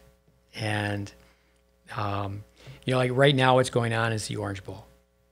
I know you're headed there with a really good 12-year-old tomorrow, and and um, with she's number one in the country, right? One of the one or one, two, one, or one of the best. And yeah. but she's got true grit, and you know um, they tried to get her filmed, but it rained, and you know some of the coaches I work with, and but you know I saw McEnroe play the Orange Bowl, and you know what did I know back then? You know I'm just a little older than he is. I didn't know anything, and uh, but you can walk around the Orange Bowl and just watch people's service motion, and you know there's always that Pepe Merlo. There's that, always that Françoise Dürr. There's players, um, Santoro from France. There's always that player that just like, how are they doing this? How are they at this level? Yeah. Um, and you know that's where people hang in there for style. You know, there's negatives to GreatBase. There's negatives to solid fundamentals in the sense that um, it's almost like we don't allow for creativity. Right. We're, we're not going to Or the street smarts. we're, we're, well, no, not that. We're not going to develop. You know, you think of uh, Monica Seles, who arguably, and I don't think I don't even like those conversations. Obviously, one of the best players of all time. What she did in such a short period of time before she was knifed. I mean, stabbed. Um, terrible, terrible, terrible. But um, her unorthodox style, and you know, like go way back to Pancho Segura's two-handed forehand. Um, the um, so you know, I think that you- like that would be a negative of the GreatBase is that no, it doesn't allow for unorthodox play. Um, but at the same time, if it was really done correctly, like by a governing body of tennis, coming back to the Jesuits, give us the first seven years, coming back to that elementary school, starting a kid when they're five, and then when they're 12, say, okay, they're going to develop their own style, their, their personality will come out. But what type of base did they have? And the way the brain works, I had a conversation with someone today who doesn't play tennis very much. They did a, an internship for with us for a year. You- I mean, you were in on that conversation. And he doesn't play much anymore, but he went out today and his serve is now palm up. But then when you start thinking about Milan, how many serves in his lifetime doesn't play anymore? Did he hit when he was a little kid that was palm, you know, he hit a palm up. Yeah. It's kind of like the word habit. You don't lose a habit, you a bad habit. You override it with a good habit, mm-hmm. and that's where, you know, it's like someone has a flaw in their game. It's like my time with going to AA meetings is like, no, if you're a palm upper, it's like being an alcoholic. You're there's traces of the old, and if you don't always work on it, and that's where you know you could turn to, like I said, Tom Brady. You know, the longevity. Certainly, he's taking care of his body, but he's still working on the same mechanics he was taught in elementary school. And there's there's nothing fancy. You know, there's a clip on YouTube where he's told to decelerate, stop the left shoulder so the right shoulder can go faster, and you know, tweaking it like that. Sounds familiar. But Yeah. um, yeah.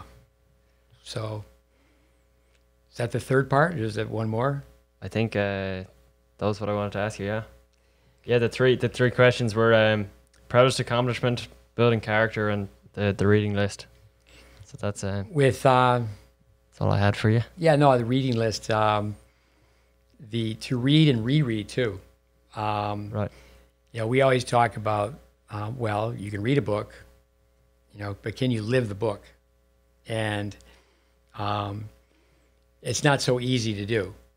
Not so easy to do. I mean, um, to Welby Van Horn didn't uh, write a book. He started one, and then Jim Layton finished it. Finished it. So Welby was publisher Paris. He never wrote a book, but Ed Weiss, who we'll get on the podcast, he he wrote a book uh, about Welby, and um, with um, but then actually live it. To if you say, for example, Braid methodology, you know, and Vic wouldn't want to ever hear the term the Vic Braid method. It's really a method of physical laws, you know, Newton and Galileo. But with, if you really study Braden, and there's old films and you know, there's books to read, and you could learn more about Braden not being with Braden. Right. But the problem is, is the internet, for example, everybody's an expert. Everybody's an expert. They're all they're everybody's trying to put their own twist on it. And um, you know, Vic Diamond is a coach that I've worked with for a long time. Loves tennis. Been a high school coach forever. Um, you know, he was at a, a coach's workshop recently, and you know, I think it's a great idea. Brad Gilbert said um, he thinks that you should use the transition balls whether that's orange or green dot, when a young kid's volleying against the backboard. Hey, that's a great idea. I mean, it's a better idea. For me, I've always said, okay, go use a dead ball. But that's just a, a little little nugget you can put in the tennis treasure chest. Um, but in tennis, um, with um, because you know the tricks of the trade, it doesn't mean you know the trade. And a lot of people know some tricks, like okay, I've got this drill. I've got this other drill, and I got this other drill. And the thing is, is that okay? Those are great drills, and they have a concept and they have a purpose, but the kids still got an inefficient grip. They're doing they're they're doing this and this, and all sounds so good, but it's a grip of a lifetime. And you know, say they're going in and they uh, have a soft grip. In other words, they don't have that base knuckle on. Say they're a one hander and they're hitting a one handed backhand volley. They're right handed, and the base knuckle's not on the right side of one it's on two. And, you know, granted, they could jut the wrist out, but the angle of the racket face determines the angle of the racket path. That's just the way it is. And it's not wrong, but that kid's going to have calculation. So then there's the question well, all right, you're meeting them at 17. Okay, tell him to get closer to the net. You know, when it comes down to Nadal, he gets so close to the net. He's got almost a forehand grip on the backhand side. He's doing okay. But speculation would be if you ask Nadal, I mean, he knows. He he knows that. Um, he he knows that if you had a conversation with him, he just knows that his backhand volley. I mean, it it could have been more efficient, you know. So when we make negative comments, like say last week we were talking about Stevie Johnson, you know, backhand return playing doubles it's, it's it, it shouldn't be taken that we're making a negative comment. I mean, Stevie Johnson. I mean, uh, we were watching Victor Lilov, who we coached, play Liam Draxel, who we coached. And they're playing a match the other day. We zoomed in, zoomed out, and you know, we got there, we didn't see the warm up, we didn't miss a point. And the coaches creatively, they filmed the, the match from way up in the stadium. It's kind of really neat to look at. And um, so we show up and we've got a group of kids. We've talked about even doing a podcast on, okay, what do we do? And we show up to watch a match. Other day, a group of us went to watch uh, a match at the Little Mo. And we've got, you know, kids charting and kids taking notes. And, you know, sometimes we're filming it. And with that, um, I sit down with the coaches or the students and the coaches too and go, hey, these guys are great players. You know, yeah, certainly in one way or the other, we were connected with them. Uh, you know, say one for, um, you know, full time, five year relationship, and the other one just a supplemental, you know, maybe for the same amount of time. In fact, with Liam, we did a little video work for him in Bay. Um, and, but I mean, you just see the the legs, and the, these guys are these guys are great players. You know, then the question is, are they going to make money? You know, they're very very good. Liam was recently number one in the NCAAs, and Lilov is top ten in, in the world in juniors, and and uh, you wish him the best. And but we look at it and go, well, what if? What if? You know, what if they had stayed with this little movement? You know, you know, and I mean, I get, I don't want to get into their games because they're at the level where their opponents possibly could hear this tape or someone say, hey, hey you're playing against so and so and so and so, and and uh, you know I think that's unethical. But um, with it is deep, it's not shallow. You know, you got to be a deep thinker. Um, you know, I think tennis coaches should study Bill Walsh. You know, he's probably got the greatest coaching tree of all time.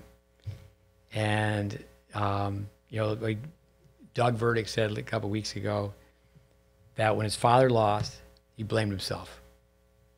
And I mean, we had that we had that interview with Doug Verdieck, and he read that letter from his father. Then we put it on Facebook. Um, you know, I've had quite a few people reach out to me and say that letter was absolutely awesome. But that's the type of letter that needs to be copied from Facebook. You know, we need to interview Doug again, and you know maybe his brother Randy, and it's just like people need to know how, how did he do it? Mm. You know, how do you take a kid who's unranked in high school tennis? Uh, you know, there's an unranked, and they come in as a freshman, and they can't be in the lineup. Like so when you wish when you showed up on a college campus, and hats off to Lander, but you were a redo, and you, you okay, kid, this is our system. This is our system, and this is what we're going to do, and and uh, you know, so hey, we want right away. We want to make you a five-year player. We're going to redshirt you and this is what we're going to do. And it's not going to be it's not going to be about winning. It's going to be about development. You know, granted, you want to recruit like you know you're a lefty, you're really fast. You played all these other sports, and you're the youngest of six, and it's like okay, we could recruit this guy. But you're um, like anyone else is okay. You create your own interference. There's a great book, Champions Don't Get in Their Own Way. Is um, you know, I think it's great. You're a devout Catholic and you're off to go feed the homeless for four days in New York City. But you know, to get personal, and that's what you do. in Djokovic, you know, professional life and personal life become one. So right. you're going to go hang out with your buddy, and so you're out on the court today with a little kid from California. Mm-hmm. And I said, you're just like him. You're social. You're wound to be a social animal. Right. And um, you know, that's where I think someone who's in job placement is going to say, you know, you know, maybe you should be in the hotel business or maybe you should be in event management and and that's fine. Mm-hmm. But you, you, say you want to be in tennis, then you got to be in tennis. Right. Take your poison. Have you ever heard of this thing called verbal diarrhea? I think we should stop here. But I think maybe it's good to talk to an Irishman that we might have broke the record with our podcast. So how long was that? Three hours? The um, but you know people are driving around in the car and they listen 10 minutes here and 10 minutes there. We realize that it's too much for the juniors. It's too much for the kids that are in school. Uh, but it's not too much. I mean, we have a course 25 hours long, 25 hours. Um, one of our uh, associates, uh, he's trying to help out the son of a former college teammate, and he said this weekend I'm going to have him watch Tennis Intelligence Applied. Um, you can watch it in 25 hours. And when we first put it up, we had a webmaster, and he he had all you could push all the buttons and tell us. Uh, and at one time, it was for sale, and um, the most of the people that bought the country, the Americans led it led for purchasing it, but the Serbians led for completing it. Wow. And one of the reasons we came up with a GreatBase, it's an hour and a half, is we found out that people didn't want to do the 25 hour course. There's no college credit. It's not mandatory. There's no test. And, but yet people are charging $100 an hour. And it's, you know, they shouldn't think of it, well, it's this guy, Steve Smith. He's got a huge ego. He's got his own course. It's no, it's like, this is from, you know, really, I mean, people that are in the Hall of Fame. You know, I mean, we think Jim Jim Verdieck should be in the Hall of Fame. We think Jim Lair will get in the Hall of Fame, but um, Van der Meer, fortunately, was just just inducted, and Hopman and Braden. Um, with I talked to Bill Jacobson the other day on the phone. Um, I mean, I think it's just so wrong, wrong, wrong that people are coming across like they're the first people to do tennis analytics, and it's like, really, come on, guys. You know, there's just way too much self promotion, and. Uh, but I hope with this podcast we broke the record. I think Welby Van Horn was almost three hours. But uh, Andy Sells always saying, did we give out value? Steve, when are you when are you writing a book? When am I going to write a book? I'm going to write it on a piece of confetti. Um, you know, I'm asked that quite often, publish or perish. And I think of Mike Costa. He was staying with us, and he's got a book, 101 tennis tips. Read the book. It's put together quite well. And, uh, you know, he was uh, hanging out with us, and he had played college tennis. He was trying to play some pro tennis and publish perish. So he's an author. I'm not an author. You know, we do have over, uh, well over 5,000 pages on Facebook. Um, but um, no, if I were to write a book for the longest time, I thought, gee, I should write a book on how to practice. Um, I've, I've said this, and you know, John Posey, we talked about John Posey. He's a guy who could write it. You know, he's um, helped his father write books, and you know, he's he's been working on a, a novel for some time. Vic Braden is missed, and Vic Braden was missed.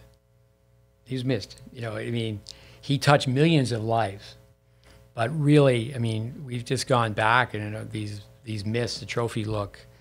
Um, Scratch your back, yeah, you hear come, that all come over, come over the ball, and um, with um, no, I think a book should be written. Um, consumer beware. Um, you know, the money it's, it's just a money pit. You know that you know the, tennis is a beautiful sport, but it's just right now it's just so expensive, and um, so yeah, maybe. I should- but you know, with the plan to, uh, you know, yeah, GB, and I say, okay, I've been, been in the trenches.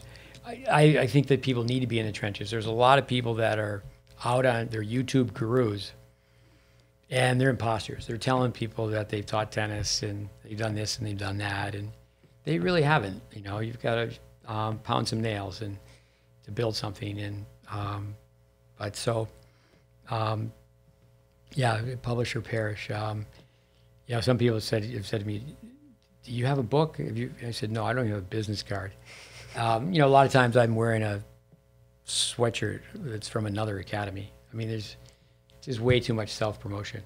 Um, but um, you know, the the how to books, um, there's plenty of them. Um, but no, I think it's more the, like the attitude of the household and the lifestyle, and um, but I think that's where we're really missing the boat with uh, just how people go about. Um, you know, I've just I've met so many kids late start and bad start, but that's okay. And adversity is a blessing. But but to be told that you know you're you're say 13 years old and you've been playing tennis for five years, and you've had a palm up serve, you've got a Western grip. I mean, the butt of the racket's almost hitting your earlobe, and you've been playing tennis for five years and the way the brain works, um, you know, it's very difficult to be the messenger and go. But then the kid says, "Oh, they want to play college tennis, and they love tennis." Um, awareness, acceptance, commitment. They, they can overcome those flaws, but you know, again, uh, so much repetition. Tennis is um, is the credibility business. Credibility just means you're believable. Doesn't mean you're truthful. And you know, there's really not that many people. We're a huge country with 300 million plus. There's really not that many people that have taken a beginner. And then, all fairness, if they've taken a beginner from, so okay, they played, they were a beginner and they took it all the way to play at a high level, played college tennis. I did a workshop. Last thing, and I'll shut up. I did a workshop. Uh, Michael Center allowed me to do this. University of Texas. My son was playing against the University of Texas, and we must have had 25 people show up. So maybe the match started at you know five in the evening, and we had bananas and bagels for breakfast, and we had sandwiches brought in, and we just talked tennis. So I handed out a pad of paper with one column and said, okay, write down the kids that you've worked with for five years, write down the kids you've worked with for 10 years. Now, I've had a chance to work with kids a long time because I work as a supplemental coach. They'll come and see me two, three times a year. Um, but it's circumstantial too. Parents move, uh, they change jobs. Um, so, um, very few coaches in their in on their defense, if they had a true chance to work with somebody for a long period of time. Yeah. And but anyway, Fergus, Leave it there. you're a good Irishman. I don't know about that. Good Irishman, you know, you can chat. We'll, we'll, next time we'll do it over the Guinness. Actually, this is what we need to end on. We have to do this. I know we're breaking the barrier, but sing a few bars for us. All right, can I take a sip of this first? Why do you drink a little water? Because you can have a sip of that. That's that's that's whiskey. Here we go. Yeah, this is everybody. out. Everybody in Ireland, in the country. I spent a lot of time in the country of Ireland. There's a postcard. It's all black, and it says "Ireland by night." The Irish people are great, and uh, my former wife, her family was great. Her father was like an unbelievable guy, He's riding a bicycle with no brakes, and he's 90 years old. But I used to think that everyone can sing in Ireland. I can Right. remember the very first time being in Dublin and having one Guinness and go, "Oh my God, I'm never going to have another Guinness." I used to drink wimp, wimp beer when I was over there, but I ended up someplace where the guys playing the spoons. And but are you good to go here? Yeah, I guess so. All right, Here. Irishman. One evening fair, as I took the air down by Blackwater side, 'twas in gazing all around me that an Irish lad I spied. All in the fore part of the night, we rolled in sport and play. When this young man arose and he gathered his clothes, saying, Fare thee well today. That's not the promise you gave to me when you lay upon my breast. But you could make me believe with the fall of your eyes that the sun it rose in the west. There's not a flower in this whole world as easily led as I. But when fishes can fly and the seas all run dry, Tis then that you'll marry I. That's it. That's awesome, awesome, you go. awesome. Let me say this is uh, we need to have you play the piano. I actually own a piano. I, you know, I don't know, paid used maybe 800 five, eight hundred dollars. I can't remember. But uh, when kids come, I ask, "Do you play the piano?" And they say yes, and I make them practice. With uh, I'm going to tell people, as you know, that uh, I taught you how to sing. right. I didn't learn any tennis that kid, but I taught him how to sing. Well, with that, I would like to say that your parents have done a great job so far. You haven't done a great job. No. You need to play the piano more. You need to sing more. Actually, just putting everything together with Ed Krass last week. He, I was just telling I was telling you that he's got these great lyrics. He loves jazz, and um, I told you that you need to write some tennis songs. We've talked about having a a GreatBase song. Right. We we had some lyrics for Tennis Tech years ago. My game was a wreck before I went to Tennis Tech, um, but um, no, that was fantastic. Uh, we'll have to tell people to uh, skip ahead to the, the third hour and fourteenth minute and listen to Fergus sing. Maybe I'll put that in the uh, you know the paragraph they read as far as Right. podcast number seventy one. But listeners, thanks. Fergus, thanks. Adios, amigos. What, do you, can you say something in Gaelic? Slán Tamil. Say that again. Slán Tamil or Slán go fóill. That means bye for now, basically. Bye for now. All right. Thank you very much, everyone. Great job, Fergus. Cheers.